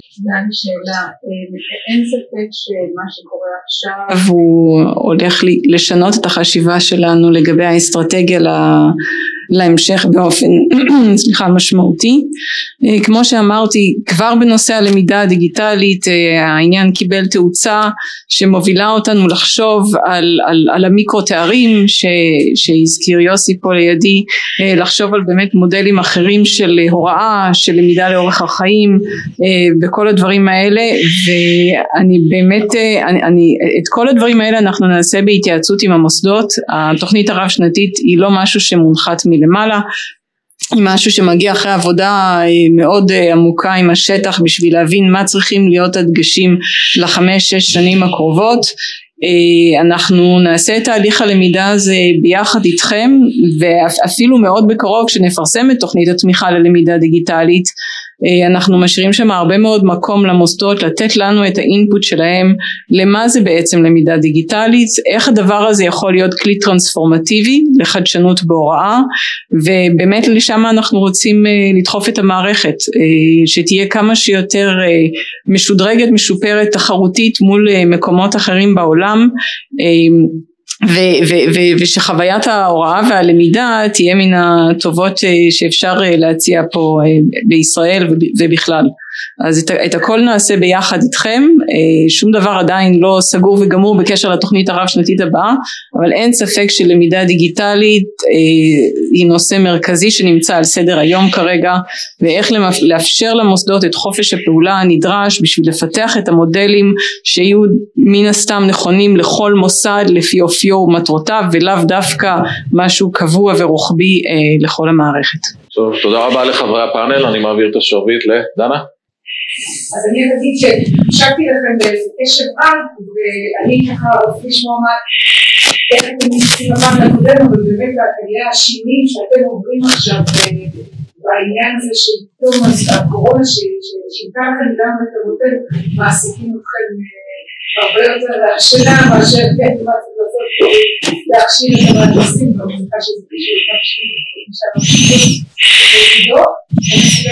אני רציתי לשאול אותך, כל כמובן לספר למי שלא ממש בקיא למרות שכולכם בקיאים שהמועצה להשכלה גבוהה הייתה היסטורית תחת החסות של שר החינוך ולאחרונה היא עברה לחסותו לשרביט לידי שר ההשכלה הגבוהה וגם שר המים אלקין אז יש שם שינויים אבל לא על זה התכנסנו לדבר אלא באמת על הנושא הזה של החיבור בין האקדמיה לבין דמות המהנדסת והמהנדס. ורציתי לשאול אותך שאלה ראשונה פרופסור פרלמן וזה עלה גם כאן בפאנל בסך הכל הפורמט הזה של לימוד ארבע שנתי נקבע לפני עשרות שנים הרבה הרבה הרבה לפני עידן הקורונה והרבה לפני עידן הזום. ועל פניו זה מראה ש, שאין הבדל באמת משמעותי בין התוכניות שמציעות המוסדות האקדמיים השונים בנושא הזה של לימודי הנדסה. אם זה נכון גם לעידן הזה של ארבע שנים זה תוכנית של ארבע שנים? יש מישהו שיחליף אותי. טוב אני יכול לענות? בבקשה. אוקיי, שאלת אותי לגבי הפורמט של הארבע שנתי של לימודי הנדסה. הפורמט הזה היה, כמו שאמרת, כבר עשרות שנים, פחות או יותר מאז שקם הטכניון, ועד ימינו, וכל המוסדות המלמדים הנדסה זה פחות או יותר אותו דבר, והוא שירת אותנו מצוין במדינת ישראל, הכשיר מהנדסים מצוינים שהפכו אותנו השתתפו בכל אה, הכלכלה הישראלית, בכל, בכל, מהתעשייה הכבדה לתעשייה האווירית, start-up אה, nation זה בזכותם, ואם אשאל חברים שלי הם יגידו לי בטח אם זה לא שבור אל תתקן את זה. למרות זאת אני חושב שאם משהו נשאר סטטי הוא יכול להגיע למצב מאובן ואז יהיה מאוד קשה לשנות אותו ולכן אני כן בעד חשיבה קדימה לאן הולכים. אז יש את הדרך האחת שהציג יוסי מאוניברסיטת תל אביב ודיברה על זה גם נעמי בק מהות"ת שאומר בואו ננסה לשבור את התארים מתואר ארבע שנתי או מתואר נגיד דו שנתי לתואר שני להרבה תארים קטנים, ננו, מיקרו, תלוי איזה גודל, ויום אחד יוכלו לקבץ את כל התארים האלה כדי לכדי תואר אחד. זו אפשרות אחת, היא אפשרות מאוד מעניינת, מל"ג עדיין לא דן בזה, ואנחנו לא יודעים איך להתייחס לזה. אני מניח שאחרי שנתאושש ממצב הקורונה קצת, ונתרגל אליו אולי, נוכל להיכנס לדון גם בנושא הזה, כדי לראות איך הולכים קדימה ואיך לומדים ממנו. מהצד השני, אני רוצה להגיד לכם על איזה חשיבה שדווקא ארנון בנטו ואני ככה מדברים על זה בינינו. לא עדיין שום דבר רשמי, אבל אומר בעצם בואו נהפוך את התואר בהנדסה במקום לתואר ארבע שנתי לתואר של שלוש פלוס שתיים.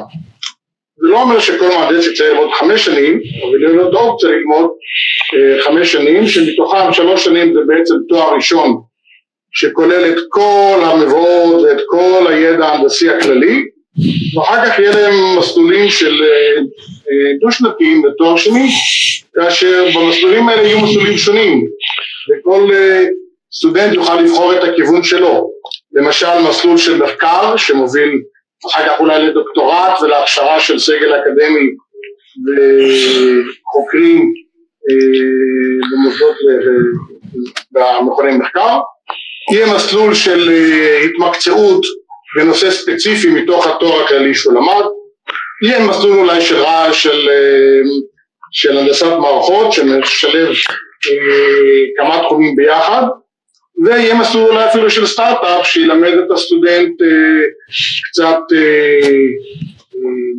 מימון וקצת יזמות וקצת חדשנות וקצת מכל הנושאים שבעצם הובילו את מדינת ישראל לתואר של start-up nation. אז כן לדעתי אנחנו צריכים לחשוב על הכיוונים האלה וכמו שציינו כולם לפניי בעצם המשבר הזה של הקורונה שאף אחד מאיתנו לא יודע לאן הוא ילך.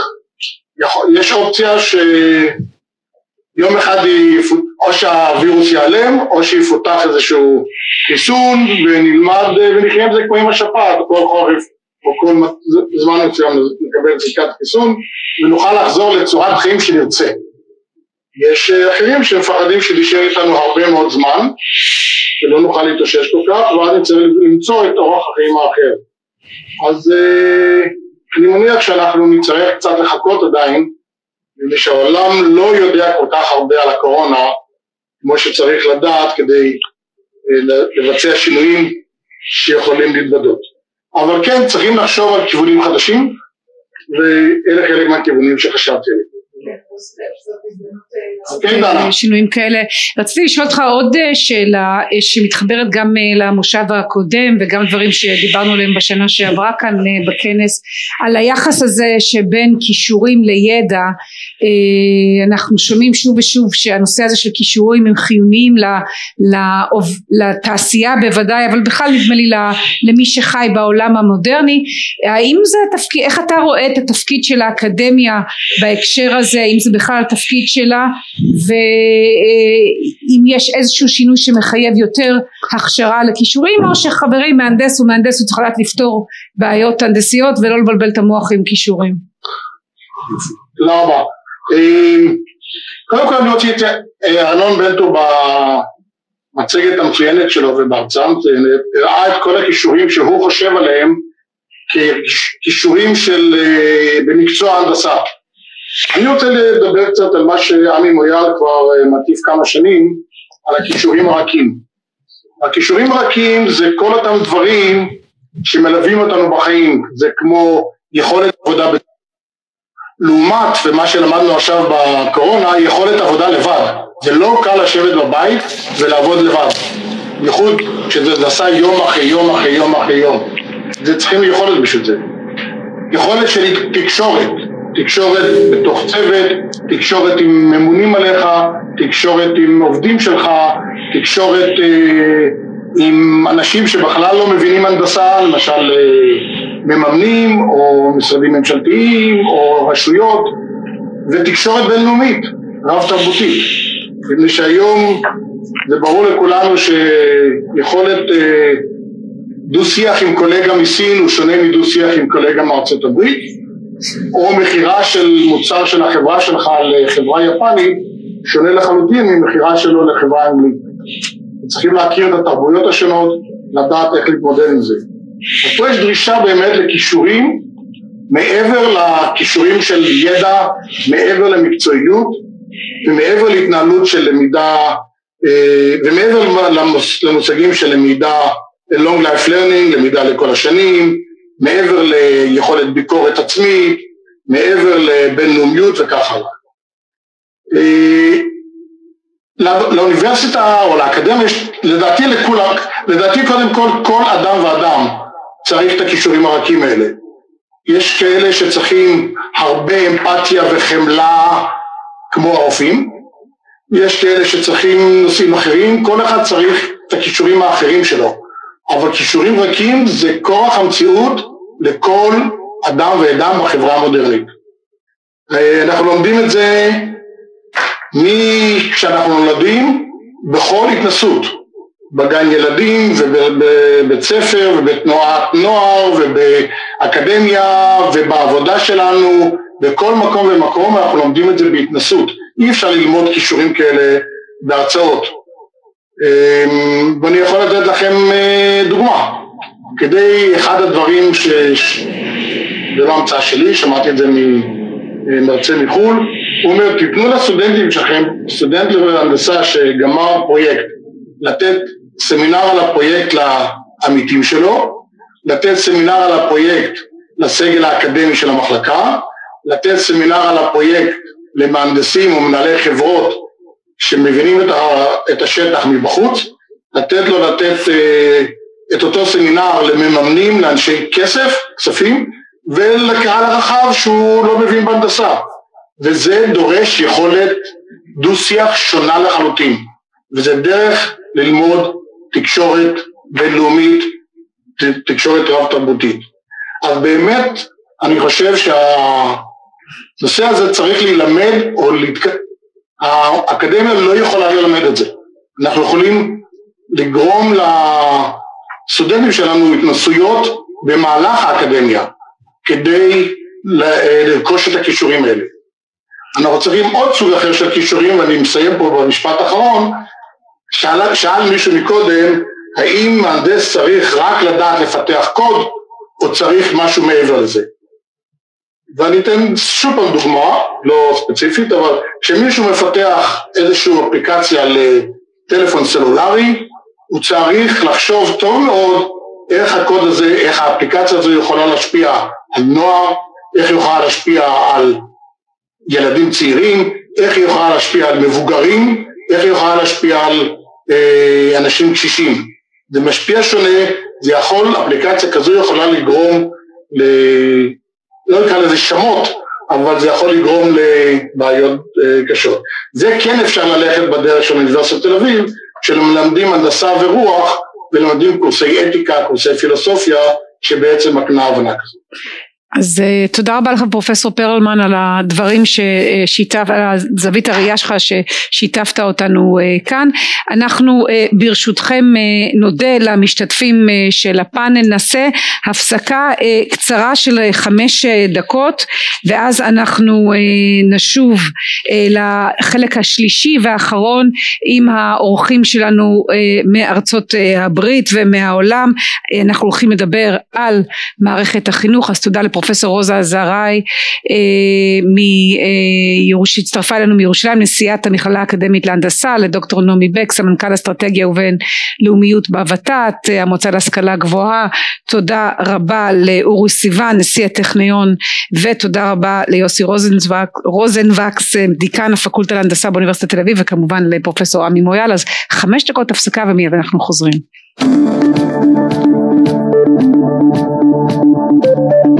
נפתח את המושב אה, מערכת החינוך שאין מתאים ממנו לסיים את הכנס דווקא כי שם אה, הכל אה, מתחיל צופינו דוברי העברית מוזמנים לעבור עכשיו אם הם רוצים לתרגום בכפתור הגלובוס ולבחור בספניש uh, before going on with the last session of the conference I would like to remind our Hebrew and English speakers guests and participants that the conference is conducted partly in Hebrew and English um, but uh, vocal simultaneous translation translation is offered all along. Please choose your preferred language voice channel on the little globe shaped button on the lower right corner of your Zoom screen. So we are delighted to open the K-12 session, though it is the last session of our conference. It is where everything starts. And though this conference is about engineers, in this session, we would like to widen the scope and talk about the potential impact of incorporating, incorporating engineering concepts into mythologies as part of our educational system in general. Sharing the session, we are honored to have with us Mrs. Jan Morrison, founder and managing partner of TIES Teaching Institute for Excellence in STEM. Following a 35 year career teaching STEM in schools throughout the world, Jan founded TIES as a design company to help the U.S. move to the STEM cross sector approach to teaching and learning, serving as the senior STEM consultant to the Bill and Melinda Gates Foundation. Jan and Ties are preeminent in the STEM conversation globally and in the work multiple communities and countries, including Israel ties, help it children make sense of the world. Uh, so thank you so much for being here and sharing, joining Jen on the panel over Zoom screen a ways in the U.S. We have Professor Richard Keith Myler, founding President Online College of Engineering, Dr. Stacy Klein Gardner, Vanderbilt University, and ASEE Pre-College founder and chair. And here with us in the room in Afeka, Mohana Fares, head of the nationwide program Israeli Ministry of Education, and Dr. Maya um, Lugasi Ben Chamo, senior executive of pedagogy and professional development at Beit Yitziv. So for the, and we will hear from all of you shortly, but for the keynote re- note remarks over live video, we are really honored to invite Andreas Schleicher, OECD Director of Education and Skills. Andreas is viewed by most professionals of the education system around the globe as the world's Minister of Education, and we are thankful and fortunate for having him here with us in this conference. Uh, Dr. Schleicher is Director for the Education and Skills and Special Advisor on Education Policy to the Secretary General at the Organization for Economy, uh, Cooperation and Development, the, the OECD. And in addition to policy and country reviews, he oversees the Program for International Student Assessment, PISA, the OECD Survey for Adult Skills, PIAAC and the OECD Skills Strategy in the OECD Teaching and Learning International Survey, the TALIS, and the development, development and analysis of benchmark on the performance of education systems, the INES. Um, Professor Schleicher, the floor, or in this case, the screen is yours. Thank you so much and uh, glad to join your conference. You know, these days are difficult for education. You know, in a way, we wish we had more engineers, not just in our industries, but also in our education systems. You know, 1.5 billion students have been thrown out of their comfortable environment, the schools, and understood that actually learning is not a place, but an activity, and that also technology and education need to work a lot better together in the future. So I think a lot of work for the next generation of engineers. We have, you know, done a lot of work around remote learning. It's sort of the lifeline of education these days, but it doesn't address yet the many social functions of schools. And we haven't yet seen the potential of technology in enabling more granular, more interactive uh, learning to the extent that it's possible. Now, if you think through the last 20 years, you know, there's been an amazing technological development uh, around the world, and Israel has been a great contributor to this. But if you contrast this with educational progress over that same period, in the industrialized world, and I could mark Israel in the same way here, uh, the line has been absolutely flat. If you would see a line like this on a brain scan, you would get very worried. And uh, what you can also see that only about one in 10 young people at age 15 can reliably distinguish between a fact and opinion. Now, you know, 20 years ago, that was 7%, you can see, wow, slight improvement. But think of the radically different world in which we live. In the year 2000, you know, literacy was about extracting knowledge. If you didn't know the answer to a question, you could look it up in an encyclopedia. You could trust the answer to be true. Today, you look up your answer on uh, Google and you get 100,000 kind of different answers. And nobody will tell you what is right and what is wrong and what is true and what is not true. And that is the fundamental challenge. Our technologies, our environment, everything has massively evolved and our education systems have not, or at least to a much lesser extent. And uh, the typical answer that we have is, you know, let's just spend more time. And you can see here, there's huge differences in the learning time that students spend in school, that's marked in blue here, or learning on their own in yellow. If you look to the United Arab Emirates, that's number one. You can see students spending close to 60 hours learning per week. If you look to Finland, on the other hand, is a little bit more than half of that time. Now, but when you look at productivity in education, you can see in a country like Finland, students learn a lot in very little time, whereas in the United Arab Emirates, they spend a lot of time and learn very little. So the volume of learning is not the answer. And actually that's true for, sorry, that's very much true for, for Israel as well. It's more a productivity challenge than a volume, a money or time challenge but pretty much for much of the industrialized world. It's about, you know, reconfiguring the people, the technologies, the spaces uh, differently, not about just doing more of the same in education. Now you just saw that, you know, time doesn't predict, you know, quality in education really well, neither does money. But here's something that does actually predict the outcomes on our international PISA test. And that's the growth mindset that young people bring with them. And, you know, I think engineers are a great example of this. You know, engineering is about that growth mindset, you know, that belief that, you know, uh, you own your success, that you can create success under the most difficult circumstances. And you can see, for example, in Estonia, the number one in the OECD area, students are doing extremely well on the PISA assessment. And they also have this idea that learning is an outcome of their own effort. not about talent, not about genes. You look, uh, compare that with Indonesia, you can see students are not doing well academically and they also believe that, you know, they can't do very much about their own success. And Israel is sort of halfway in the middle. But strengthening that kind of growth mindset.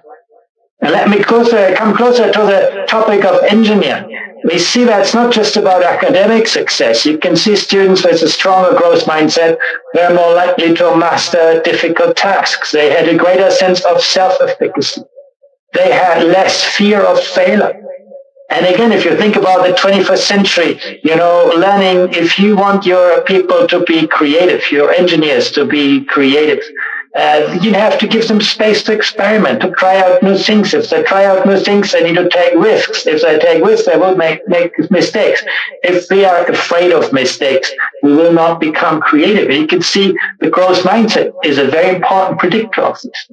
But also students with a growth mindset they established more ambitious learning goals and they saw actually even greater value in their own schooling. So we need to think harder about those kinds of topics, particularly in this digital world, which has been incredibly democratized. You know, everybody can collaborate, everybody can contribute. But it's also concentrating power at a rate that we have never seen before. It's been incredibly particularizing. The smallest voice can be heard everywhere. You post something on Twitter and the world can follow you. But it's also incredibly homogenizing, squashing individual differences, cultural uniqueness. Questions of identity, agency have become the heart of education. Technology has been incredibly empowering. You know, there's no better place to see that, you know, in Tel Aviv or other places in Israel. You know, the most successful companies today, they're not created by a big industry. They're created by a big idea. They have the product before they have the money. That is the power that technology actually provides to individuals. But, you know, we also know technology can be deeply disempowering. Then we become the slaves of algorithms that we don't understand. So again, these things are very, very important kind of facets and they have changed the environment around us, you know. Platform technology drives the reorganization of our entire economy. You have no longer any idea whether you have, you know, a big company or a small company by the number of staff. Very few people can change the entire ecosystem. You no, no longer know who is the customer and who is the producer. The blurring distinction between consumer and business and governments getting part of this as well.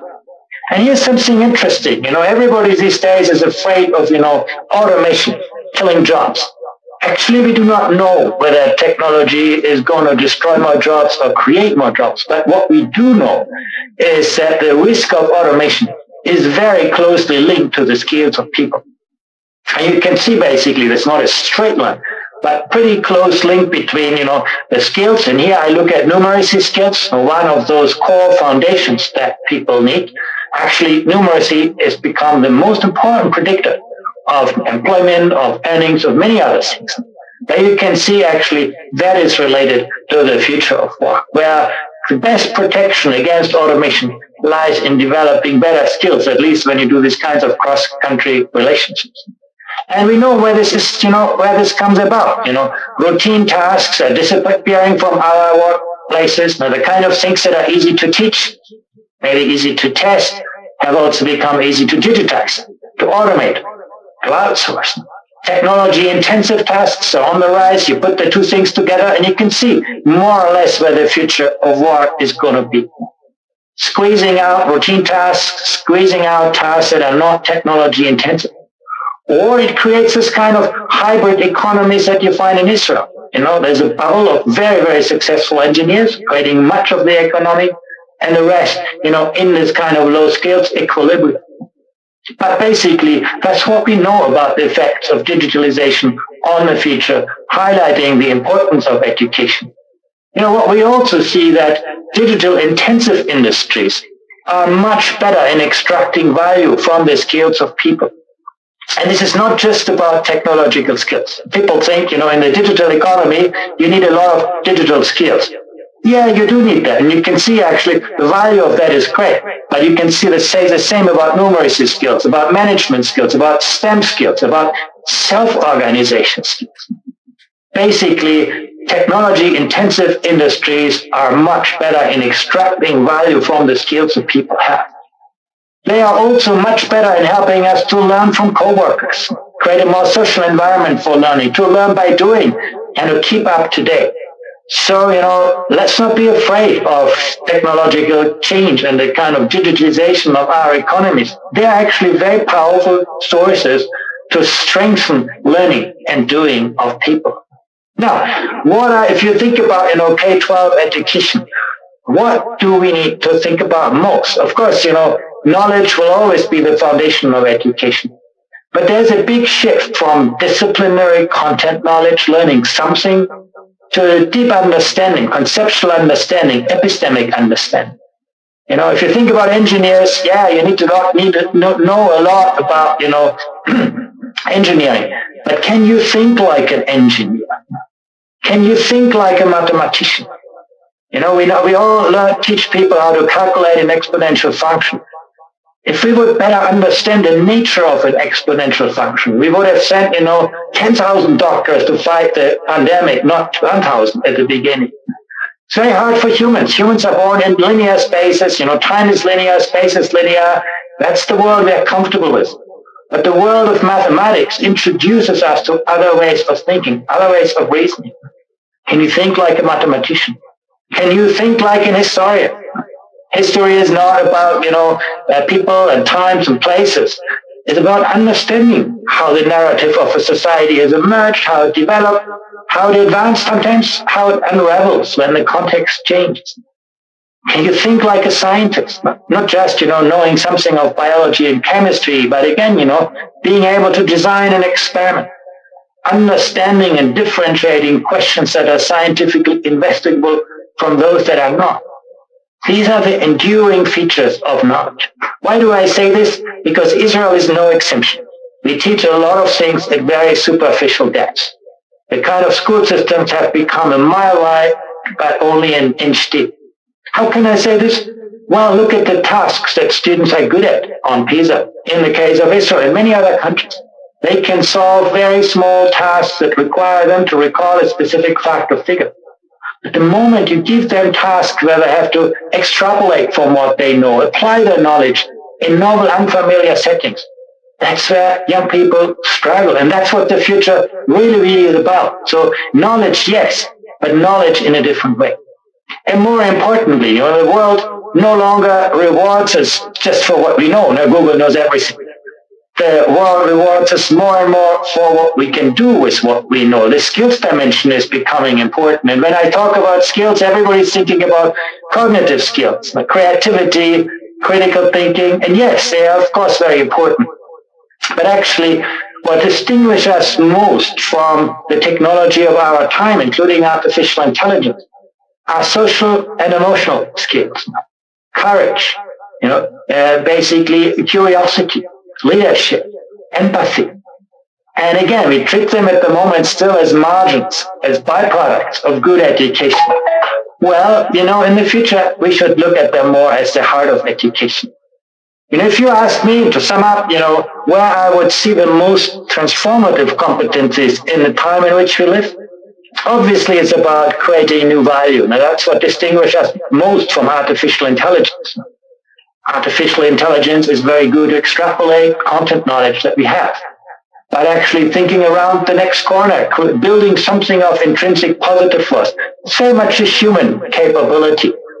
Reconciling tensions and dilemmas. The world is no longer black and white. Our capacity to navigate ambiguity. And it's easy to say, hard to do. Our education systems have become very good to transmit the established wisdom of our times. They're not very good yet on helping people to question the established wisdom of our times, to think around the next corner, to manage and resolve tensions and dilemmas. And of, of, obviously, you know, the biggest challenge is that, you know, it's easy to learn things.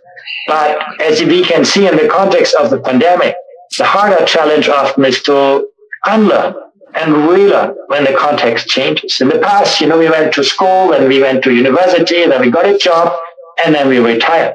In the future, we'll need to give a lot more attention to the early years, early childhood education and care. Why do I say this? Because some of the social and emotional skills that are highlighted are actually developed very early on in the lives of people. Later on, you know, as adults, they become character qualities, they become personality traits. It's very hard, you know, to change empathy and to change, you know, curiosity. In the early years, we can build those skills now. That's where many of the engineering talents will be sort of chosen very early on and primary education as well. You know, when you look to Israel and other countries, why is there such a big gender gap in engineering colleges? It's not about engineering skills. You know, boys and girls have very similar kind of skills in mathematics and science and all those engineering related topics, at least on the PISA assessment. But, you know, when you look at uh, girls, often they do not see life opportunities, career opportunities in an engineering career. Some of them have never met uh, engineer in the early years. The most important career decisions that you make in life, you don't make at the end of schooling. You make in the first years of primary education. That's where you decide where you put an effort into school, what you like to study, where you put, and so on. And then tertiary education is going to be a lot more transversal.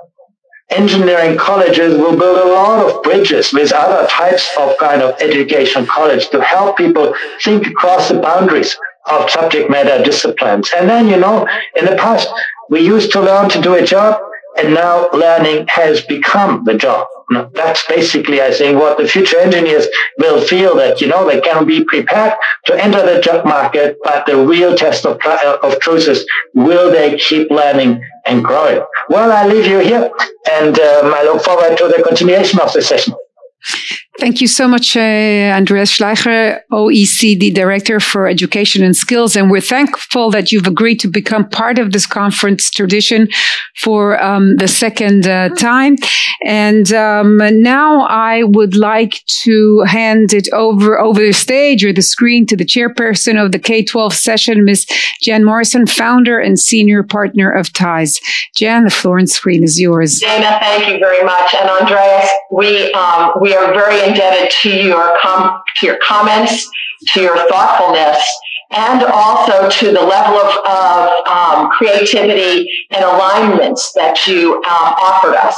We couldn't, um, I couldn't begin to um, to develop that kind of introduction to what our panel is going to actually speak about today. But let me start by first um, thank, thanking um, Professor Moyal, um, President of AFECA, for um, the invitation and for trusting that we Americans have something to say in the conversation um, on Israel on engineering education. We know that you've done an amazing job with the, this conference over years and are very honored.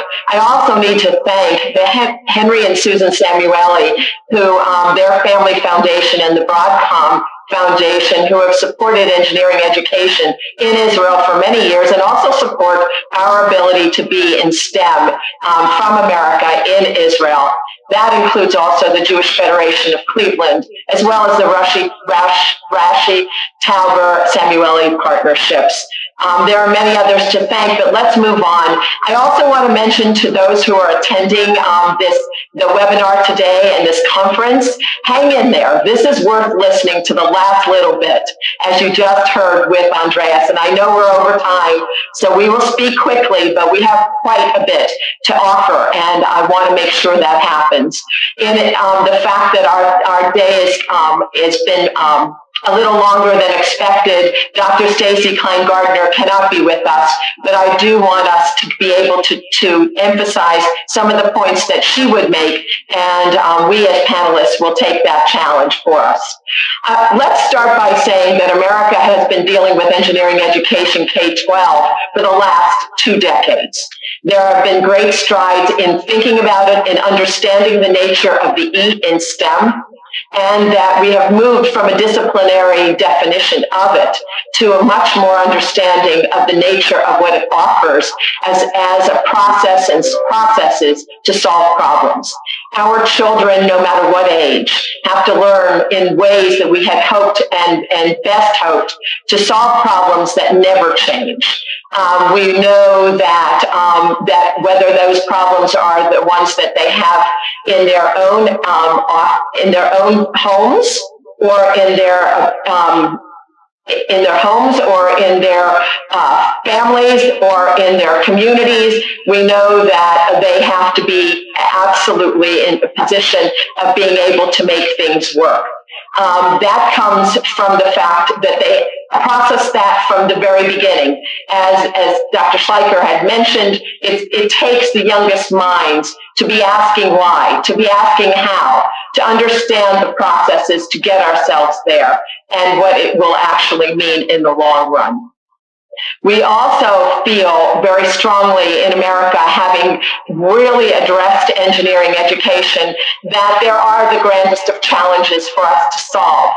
And that that is not, ought not to be just relegated to our higher education partners and to the industries, but to the minds that are growing and are living those problems in the communities as they grow up.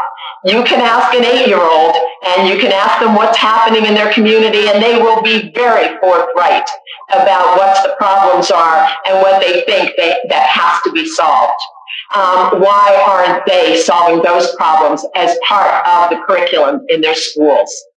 And why aren't they involved in decisions that are being made about their own education? The youngest always ask why. At four years old, they're nagging a why. And yet school throughout their K-12 experience asks them to be seated, asks them to be less active. How can we use the E in engineering to create the kind of system, to use the engineering as a verb, to engineer a system that supports the kind of importance uh, that we've heard this whole conference and in conferences of past and offer the kind of skills but also, most importantly, the kind of interest that we really need from our young. The K-12 environment is not just a set of skills, not just a set of knowledge. It is absolutely vital that every child raises their hand and says, I can do it. I can solve that problem. And that's what the challenge is. And what we'd like to do today is I'd like to move from chat, from my my voice to invite the panel to to in, to take up the questions and the challenges and the observations that that Andreas Schleicher just um, mentioned to us all. But, and first on our panel is um, Dr. Richard Miller. Rick has been the, was the founding president and now outgoing president of Olin College. I want to say a moment about Olin College in our world, and because it's not just a U.S. Um, higher education institution. It is an opportunity for undergraduates to take up problems and to solve them in ways that they're learning from the moment they enter their higher education demands their their creativity and their critical thinking. Um, as they learn, they are excited that they're also making a difference in the world. And so, in in all of this, and today I listened to hear this and did not. I want to bring up the idea of tikkun olam of community service, of being, of giving and empathy, and not only taking on the, the, the, innovations for the sake of it, but also making our world better. So Rick, I really want you to, to help everybody to understand engineering education at Olin and how STEM has been a mind shift and what you've really learned out of this. Well, terrific. Thank you very much for the opportunity to be here um, I've not visited Israel, so this is my first sort of virtual in, in-depth experience. Um, I am absolutely thrilled to find that the nation of Israel is so concerned about education and about engineering education that a conference of this magnitude would be devoted to it. Um, I am also uh, thrilled, um, Andreas, with your keynote a few minutes ago. You hit so many themes that we have discovered in 20 years of experimentation at Olin. Um, so let me just say that I began as the first employee of Olin in 1999 with, with what is now, I think, relatively modest um, aspirations, and that was to try to correct an imbalance in engineering education that had, that had arisen over so many years. Um, the bottom line is that after the in 1950s, after the after World War II, our country can decided that uh, technical prowess and, and science was the answer to most things. So we needed to double down on teaching science and mathematics, and that would save the world. And you know, it's done great things. Let's let's be honest. But but we have just continued to move in that exact same direction for decades, and forgotten that there are other issues that are also important. Um, fast forward to today, the kids who graduate from Olin today um, have completed 25 to 35 design build projects. Um, they have worked for a company for a year. Many of them uh, in their project have developed patents and new corp- new um, businesses, um, and they also um, have uh, what we call um, skills in expo. We, we believe that engineering is a performing art, and that the way you learn any performing art is through experience. And if you were in a music school, you would have a, a, recital at the end of every semester. So we have a recital at the end of every term. And every student, no matter what year they're in, selects something from the project work and they stand and deliver this to the community. Uh, something similar to this was proposed by one of the earlier panelists today in terms of learning how to, to be uh, communicating excellence in different audiences. And our students do that eight times before they graduate. Um, now, one of the things that has occurred to me in these last few years is that only about 5% of the graduates uh, in our country uh, in any college or university majors in engineering. 95% of them do not. And the divide between these two has grown very deep. We have so much we can learn and need to learn from the other 95%. Um, I think now the highest calling is to, is to use undergraduate education to shape identity agency, and purpose in young people.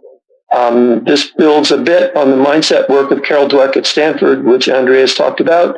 Uh, it has goes a little beyond that to develop a sense of purpose as well.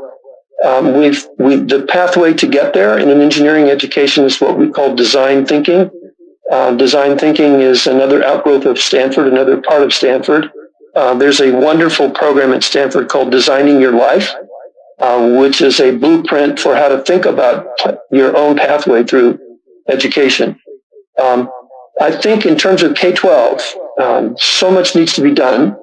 Um, through our experimentation, I think we started with two, three simple observations. Number one, young people are way more capable than you think of independent learning, particularly if you give them challenges and allow them to work as a team uh, so much difficulty is created by focusing only on problems that have a unique answer that that um, you don't talk about this to your neighbor because that could be cheating. Uh, this is not a normal way of behaving. Secondly, we found that young people have two natural interests. I don't. I think this is in every culture in the world. Uh, number one, children are interested in mystery stories. They love the, the excitement of finding things out. And secondly, they love to make things. And when you do this right, science is about mystery stories. It's not about facts that you have in the back of the book. And engineering is about making things. And I think we somehow have lost our way in the way we teach to not build on that natural interest that kids have going forward. And I think I better stop now so that other people will have a chance to talk and we're a little bit late. Thanks so much, Rick. Um, I, I will circle back at the end and ask some questions of you that you've raised. But let's let's move ahead. And Mohana and Maya, thank you so much for being there. Um, it's good to see you again. Um, I miss being with you. Um, this does not compare. But Mohana, let me move to you first.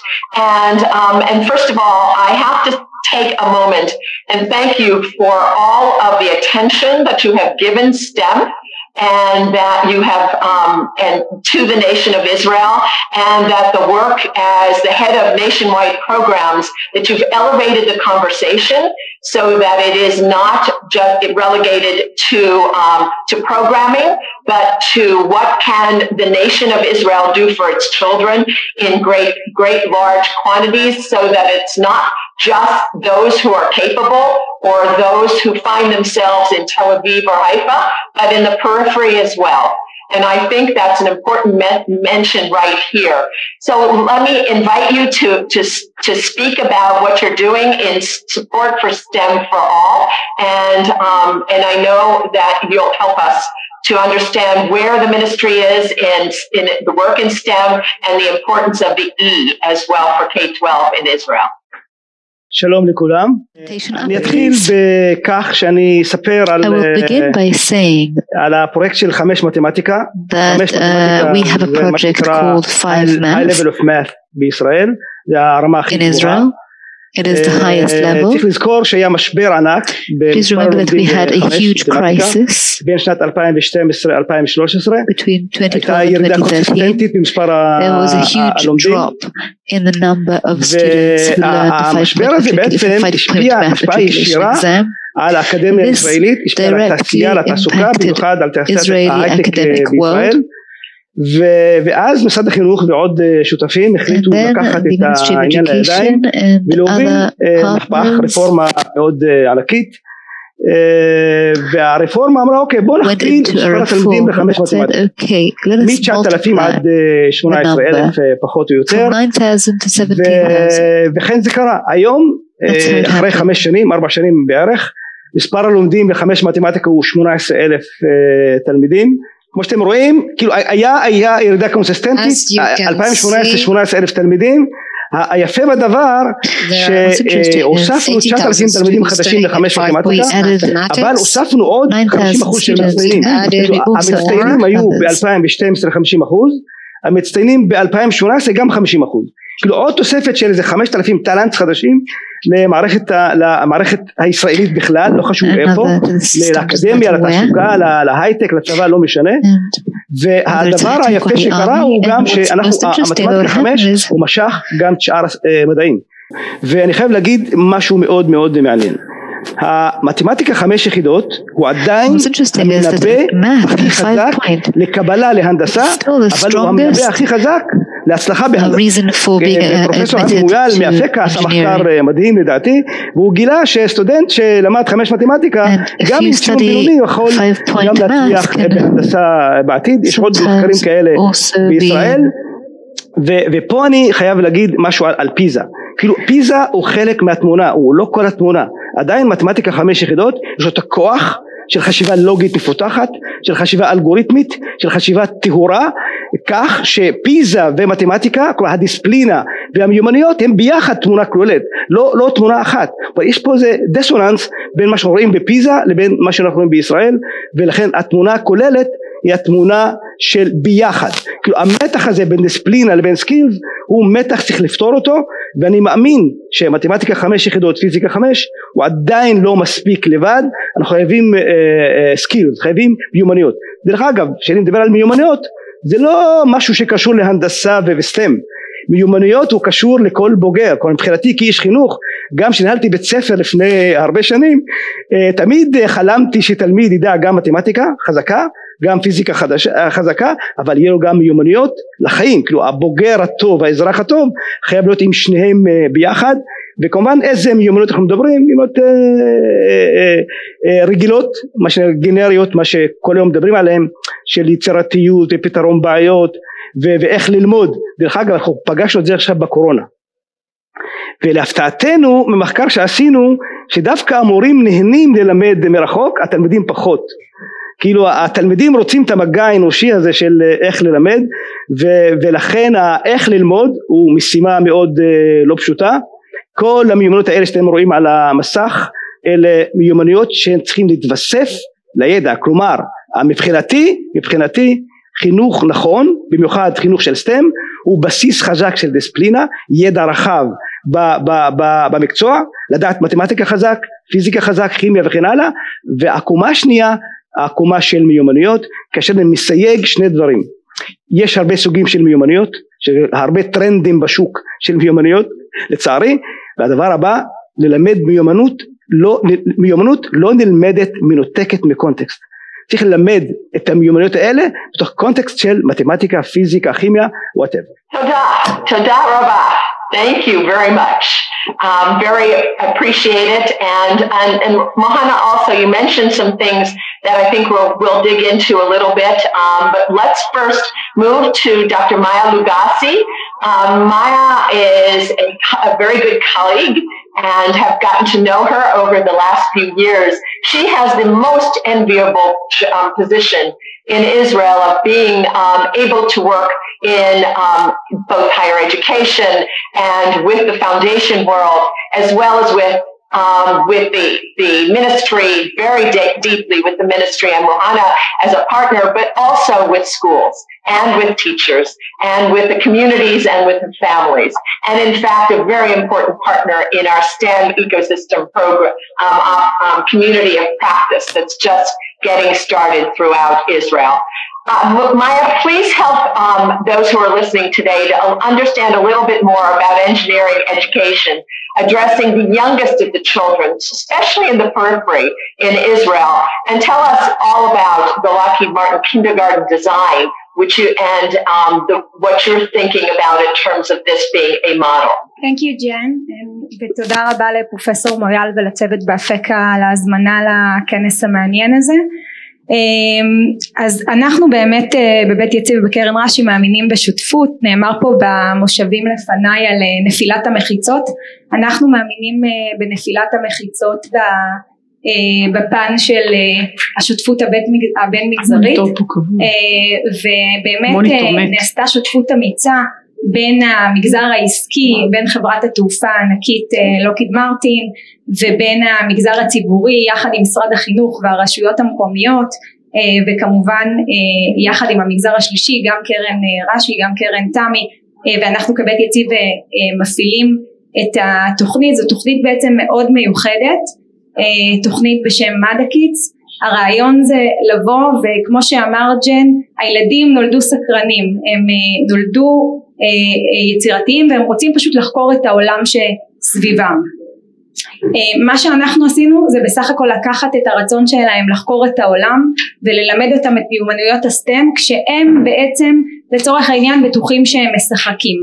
אנחנו בנינו תוכנית פדגוגית שהיא צמודה לקוריקולום של משרד החינוך והיא מאפשרת העשרה הן לתלמידים עצמם, הן לילדים בגן, אבל גם לצוות, ה, לצוות הפדגוגי ולצוות בגן, על מנת לאפשר את הקיימות של התוכנית. התוכנית משלבת בעצם גם תכנים סליחה מתחום הסטם אנחנו מדברים גם על כל העולמות של המתמטיקה שנאמר פה על ידי מואנה באמת על הצורך בחשיבה מתמטית גם על כל העולמות של האסטרופיזיקה אנחנו לוקחים תחומים מאוד תחומים שנחשבים ונתפסים ככאלו שניתן ללמוד אותם בגילאים רק גדולים יותר. אנחנו לוקחים את המושגים כמו כוח משיכה ומלמדים את זה כבר לילדים בגילאי 4 ו-5 ואנחנו מגלים שהם באמת מצליחים לספוג וללמוד מזה. אפשר לראות כאן גם את הגלגל ההנדסי, the engineering design process שבנינו יחד גם עם ארגון טייז ועם הפדרציות שאנחנו עובדים איתם, פדרציית קליבלנד,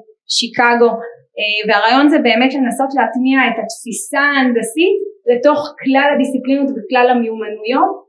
ניתן לראות פה באמת גם כן את, את המנכ"ל משרד החינוך, את שר החינוך סליחה לשעבר כשהוא מגיע לגן והוא בעצם משחק עם הילודים רובוטיקה. אבל אנחנו באמצעות הרובוטים האלה מלמדים איתם אותם בדיוק את אותם מיומנויות שגם דובר עליהם לפני כן על ידי אנדריאה שלייכר אותן מיומנויות, מיומנויות שתאפשרנה להם בעצם גם בעתיד להצליח בכל הלימודים בתחומי הסטם ובכלל.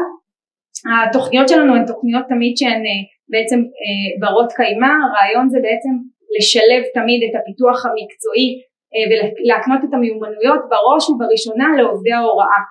בצורה כזו שלאחר מכן הם יוכלו להטמיע את זה בקרב הלומדים.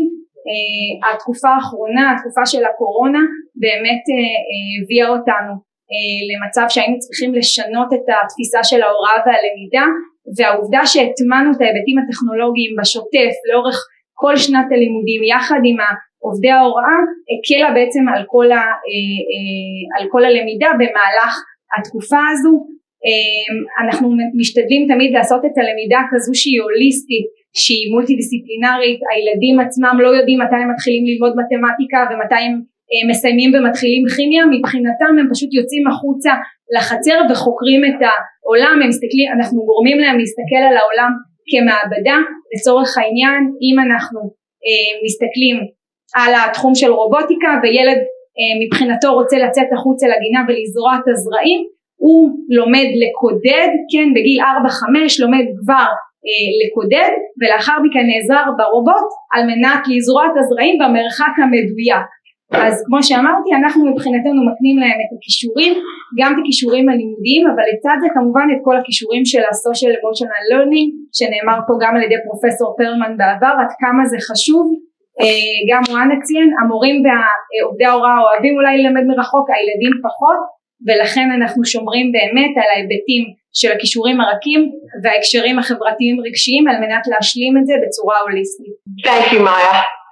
Thanks so much. But um, I want to um, to move to some questions, and I realize we're way over time, but I still have a couple of things for us to talk about. So, um, panelists, in your answer, just be quite direct. Rick, let me ask you a question. Um, I, um, Andreas said that there was a productivity challenge and that what we were talking about really was not um, more time um, in the classroom, not more time on task even. Um, that would demand some re-engineering of the system, Israel's system, America's system, systems throughout the world. Um, what's your advice and some guidance from your perspective since you engineered an amazing system in higher education? Well, thank you. What we did was a lot of experiments. And so we tried lots of things, most of which did not work, by the way. Um, but along the way, we've discovered, I think, what is pretty commonly known in, in higher education now that the retention of knowledge depends on your emotional engagement with it and your sense of ownership. And it has to have meaning to you. So if you start with what kids intrinsically care about and you, and you invest in opportunities for them to challenge themselves, there's almost no end to what they can learn. It's very uh, surprising. Um, I'll tell you one experiment that we did at the beginning we, when we first started, we were a bunch of old academics sitting around a table saying, what do you remember from your undergraduate education? And that was a very humbling question on its own. Um, but we decided that all of us could remember the project that we did in our senior year much better than we could re- we could remember the tests in our history class or in our math class. So then we did, we asked the question, why did we have it only in the senior year? Because it was true for all of us. And we said, well, it must be because you have to have two years of calculus and physics before you can pick up a wrench. I mean, apparently Zeus, the Greek god, is up there and he'll strike you dead if you pick up the wrench before you've gotten a B in physics. So we said, gee, that's an experiment. We can try that.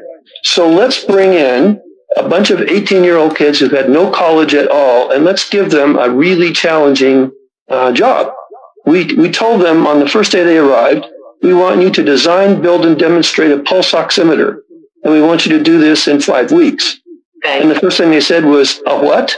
And we said, a pulse oximeter. We spelled the word out. This is that medical instrument that you see on TV all the time where they put this, this thing on your finger and it measures the oxygen content in your pulse rate. So they said, cool, uh, where do we learn about it? And we told them, why don't you start with the patent literature? And, um, you know, if you have questions, we're around, but we've never built one either. Um, and there's a box of tools over there in the corner. You have five weeks. Oh, and by the way, this is not a standardized test. You can talk to your neighbor. If you have an aunt or an uncle who works in a hospital, go see one. If you, uh, this is not, we don't care, but you only have five weeks. See what you can do. We were convinced there was no way. I mean, they've never even had the freshman calculus. Five weeks later, they built one and it was working. So we brought in a hospital version and we put them side by side and they were both doing the same thing. Um, so uh, if they are, if they care about it and if they're involved in it, uh, there's an awful lot that you can do. So retention of knowledge depends on emotional engagement and has to be something they're intrinsically caring about. So thank you. And if we're going to build that in from the earliest of age, Maya, um, I, I, wanted you to speak a little bit about that kind of um, opportunity and, and emotional engagement and what Andreas challenged us to a growth mindset as well. What do these learning spaces look like? אנחנו כבר בגיל הרך, כמו שציינתי קודם, אנחנו מטמיעים את אותם כישורים ואת החשיבה מהסוג הזה על מנת שהם יוכלו לעשות את זה בצורה אה, רציפה גם לאחר מכן. אה, בארץ באמת אנחנו נתקלים אה, אה, בנושאים מהסוג הזה גם בפריפריה ולכן אנחנו החלטנו כבר בשלב מאוד מוקדם בגיל הרך להביא להם מודלים לחיקוי. אנחנו רואים את זה שכשאנחנו מתחילים את התוכניות בגן אנחנו שואלים אותם מה הייתם רוצים להיות שתהיו גדולים? והם באים ואומרים לנו או שהם רוצים לעשות בדיוק מה שההורים שלהם עושים או שהם רוצים להיות זמרים או רקדנים וכיוצא בזה. ובאמת לאחר שאנחנו חושפים אותם למודלים לחיקוי ו, וחושפים אותם לתעשייה ולאקדמיה וליתר האפשרויות כבר מגיל כל כך צעיר אנחנו לא צריכים אחרי זה לעשות את התיקון קלקולים. גם בהיבט המגדרי אם אנחנו רואים פחות ופחות נשים שנמצאות גם בתעשייה וגם באקדמיה בתחומים הללו אנחנו באמת רואים היום יש כבר המון מחקרים שמצביעים על זה שככל שאנחנו חושפים בנות בפרט ובכלל את הילדים בשלבים מוקדמים יותר אנחנו לא נדרשים אחרי זה לעשות תוכניות כאלה ואחרות שיגרמו לבנות להיחשף ולהגיע לתחומים האלה גם לתחומי הסטם בכלל וגם לרצון לשאוף כמה שיותר גבוה. Thanks so much. I, um, I think that, that your comment about girls as well is really critical because Israel is always addressing whether um, what it looks like to be inclusive. And the conversation has always been that we, we want more girls in STEM, um, regardless of the entry point in STEM. So, Mohana, let's give you the last word um, in this panel um, to answer. Um, I appreciate again for you being here. Um, help us in a post COVID Israel, when Israel makes its way through this mess that the world is suffering as well. And I have no doubt that you will come out um, ahead of everybody else as you have um, in Israel for many, many, um, for generations. Um, help us to understand what the future is of STEM. What's the, what are you working on? What's the ministry working on? And how are you working with other ministers as well so that the conversation that we've had today from the industry and from um, higher education and now K-12 is connected. ומערכות החינוך בעולם, במיוחד בישראל, לפחות האקדמיה וגם K-12, הן לא כל כך חזקות בלימוד מיומנויות. אנחנו עושים את זה בכמה אופנים. ברמה אסטרטגית אגף מו"פ ואגף אסטרטגיה בנו מסמך מדהים של עשו מיפוי של כל המיומנויות מנעד רחב ממיומנויות קוגניטיביות עד מיומנויות מה שנקרא soft skills ועד מיומנויות חברתיות ובמקביל אנחנו בונים שותפויות, אני בעד שותפויות, משרד החינוך היום הוא משרד עם, עם חוזקה לעשות שותפויות עם הרבה אנשים מהמגזר השלישי, מהמגזר העסקי וגם במשרדי ממשלה השונים, ברמה הפרקטית אה, אה, בעקבות המסמך הזה, אתן דוגמה ממתמטיקה למשל, בכיתה ח' אנחנו הולכים לקחת מקצועות כמו אה, סטטיסטיקה ופונקציות ליניאריות ולמדם ביחד עם מיומנויות מתאימיות וחשיבה גבוהה אני אספר משהו על, על תוכנית פריפריה. אם קומה ראשונה זה מתמטיקה, קומה שנייה זה מיומנויות, בפריפריה יש לנו עוד קומה באמצע היא מה שנקרא מיומנויות אה, חברתיות שזה בנוי על, על, אה, אה, על growth mindset, תמונת עתיד ועל אה, אה, מוטיבציה מקוילת, אנחנו בונים אותם ביחד עם התלמידים כדי להצליח, אני אגיד משפט אחרון על החלום שלי ואצלי חלומות מתגשמים. חלום הוא שאנשים מהתעשייה יבואו לאקדמיה ויחנכו סטודנטים איך ללמד מיומנויות בשילוב עם, עם, עם, עם סטם ואותם סטודנטים יבואו אליי לבית ספר וללמד את הילדים מה זה מיומנויות.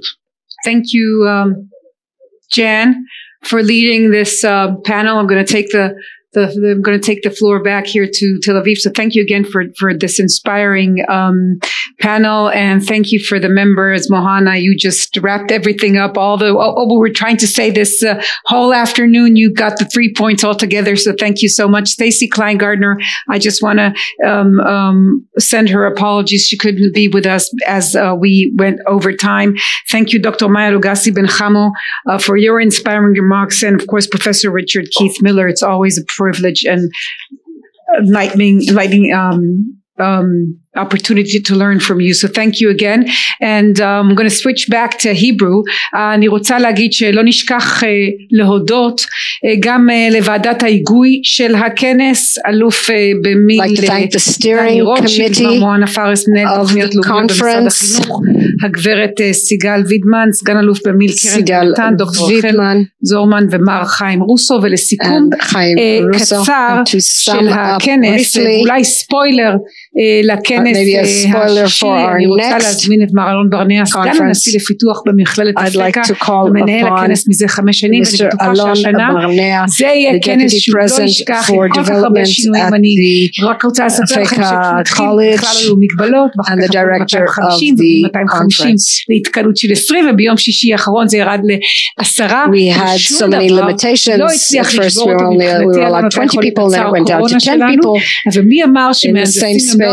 מבחינתי, היה לנו את היכולת קצר הקורונה שלנו, ומי אמר שמהנדסים הם לא אנשים גמישים, אז בבקשה, אלון. תודה דנה, אז uh, באמת אנחנו צריכים להשתנות, להתגמש, דברי סיכום מאוד קצרים, so, אנחנו נמדוד אותם בשניות ולא בדקות, 180 שניות. ואנחנו out of here, ותודה לכולם. Uh, מה למדנו בעצם היום? הכל זה עניין של השתנות, שינוי, so, גמישות, אנשים, פעם גבר אופנתי שם לו פה בכיס איזושהי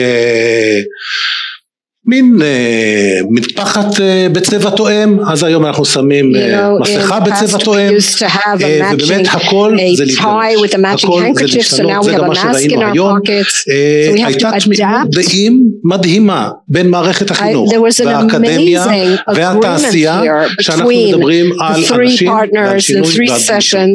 אז ספוילר דן אמרה, לשנה הבאה, אז הספוילר שלנו, מה בעצם אנחנו רוצים לראות? רוצים לראות מה עשינו עם מה שכולנו הסכמנו שצריך לעשות. אז שנה הבאה כנס אפקה השישי לפיתוח הון אנושי לאומי בהנדסה יעמוד בסימן של דוגמאות מהארץ, מהעולם, של מה עשינו עם מה שכולנו יודעים שצריך לעשות. תודה רבה לכולם. היינו במשך כל היום בין 200 ל-300 איש ואפילו האמיצים ביותר בין 100 ל-200 איש עד רגע זה. תודה רבה לכולם. Uh, תודה רבה uh, אלון, בכך אנחנו חותמים את כנס אפקה 2020 תחת התו הסגול בשנה הבאה, בשנה הזו שכנראה לא נשכח, תודה רבה שהייתם איתנו כאן בארץ ובעולם, Thank you for joining us, uh, בתקווה שבשנה הבאה כבר נחזור להיפגש מי יודע, אולי אפילו בלי מסכה ועם לחיצות ידיים, בכל מקרה תודה שהשתתפתם על הזמן והשאלות והתובנות, מבחינתי היה מרתק אז להתראות בשבוע טוב.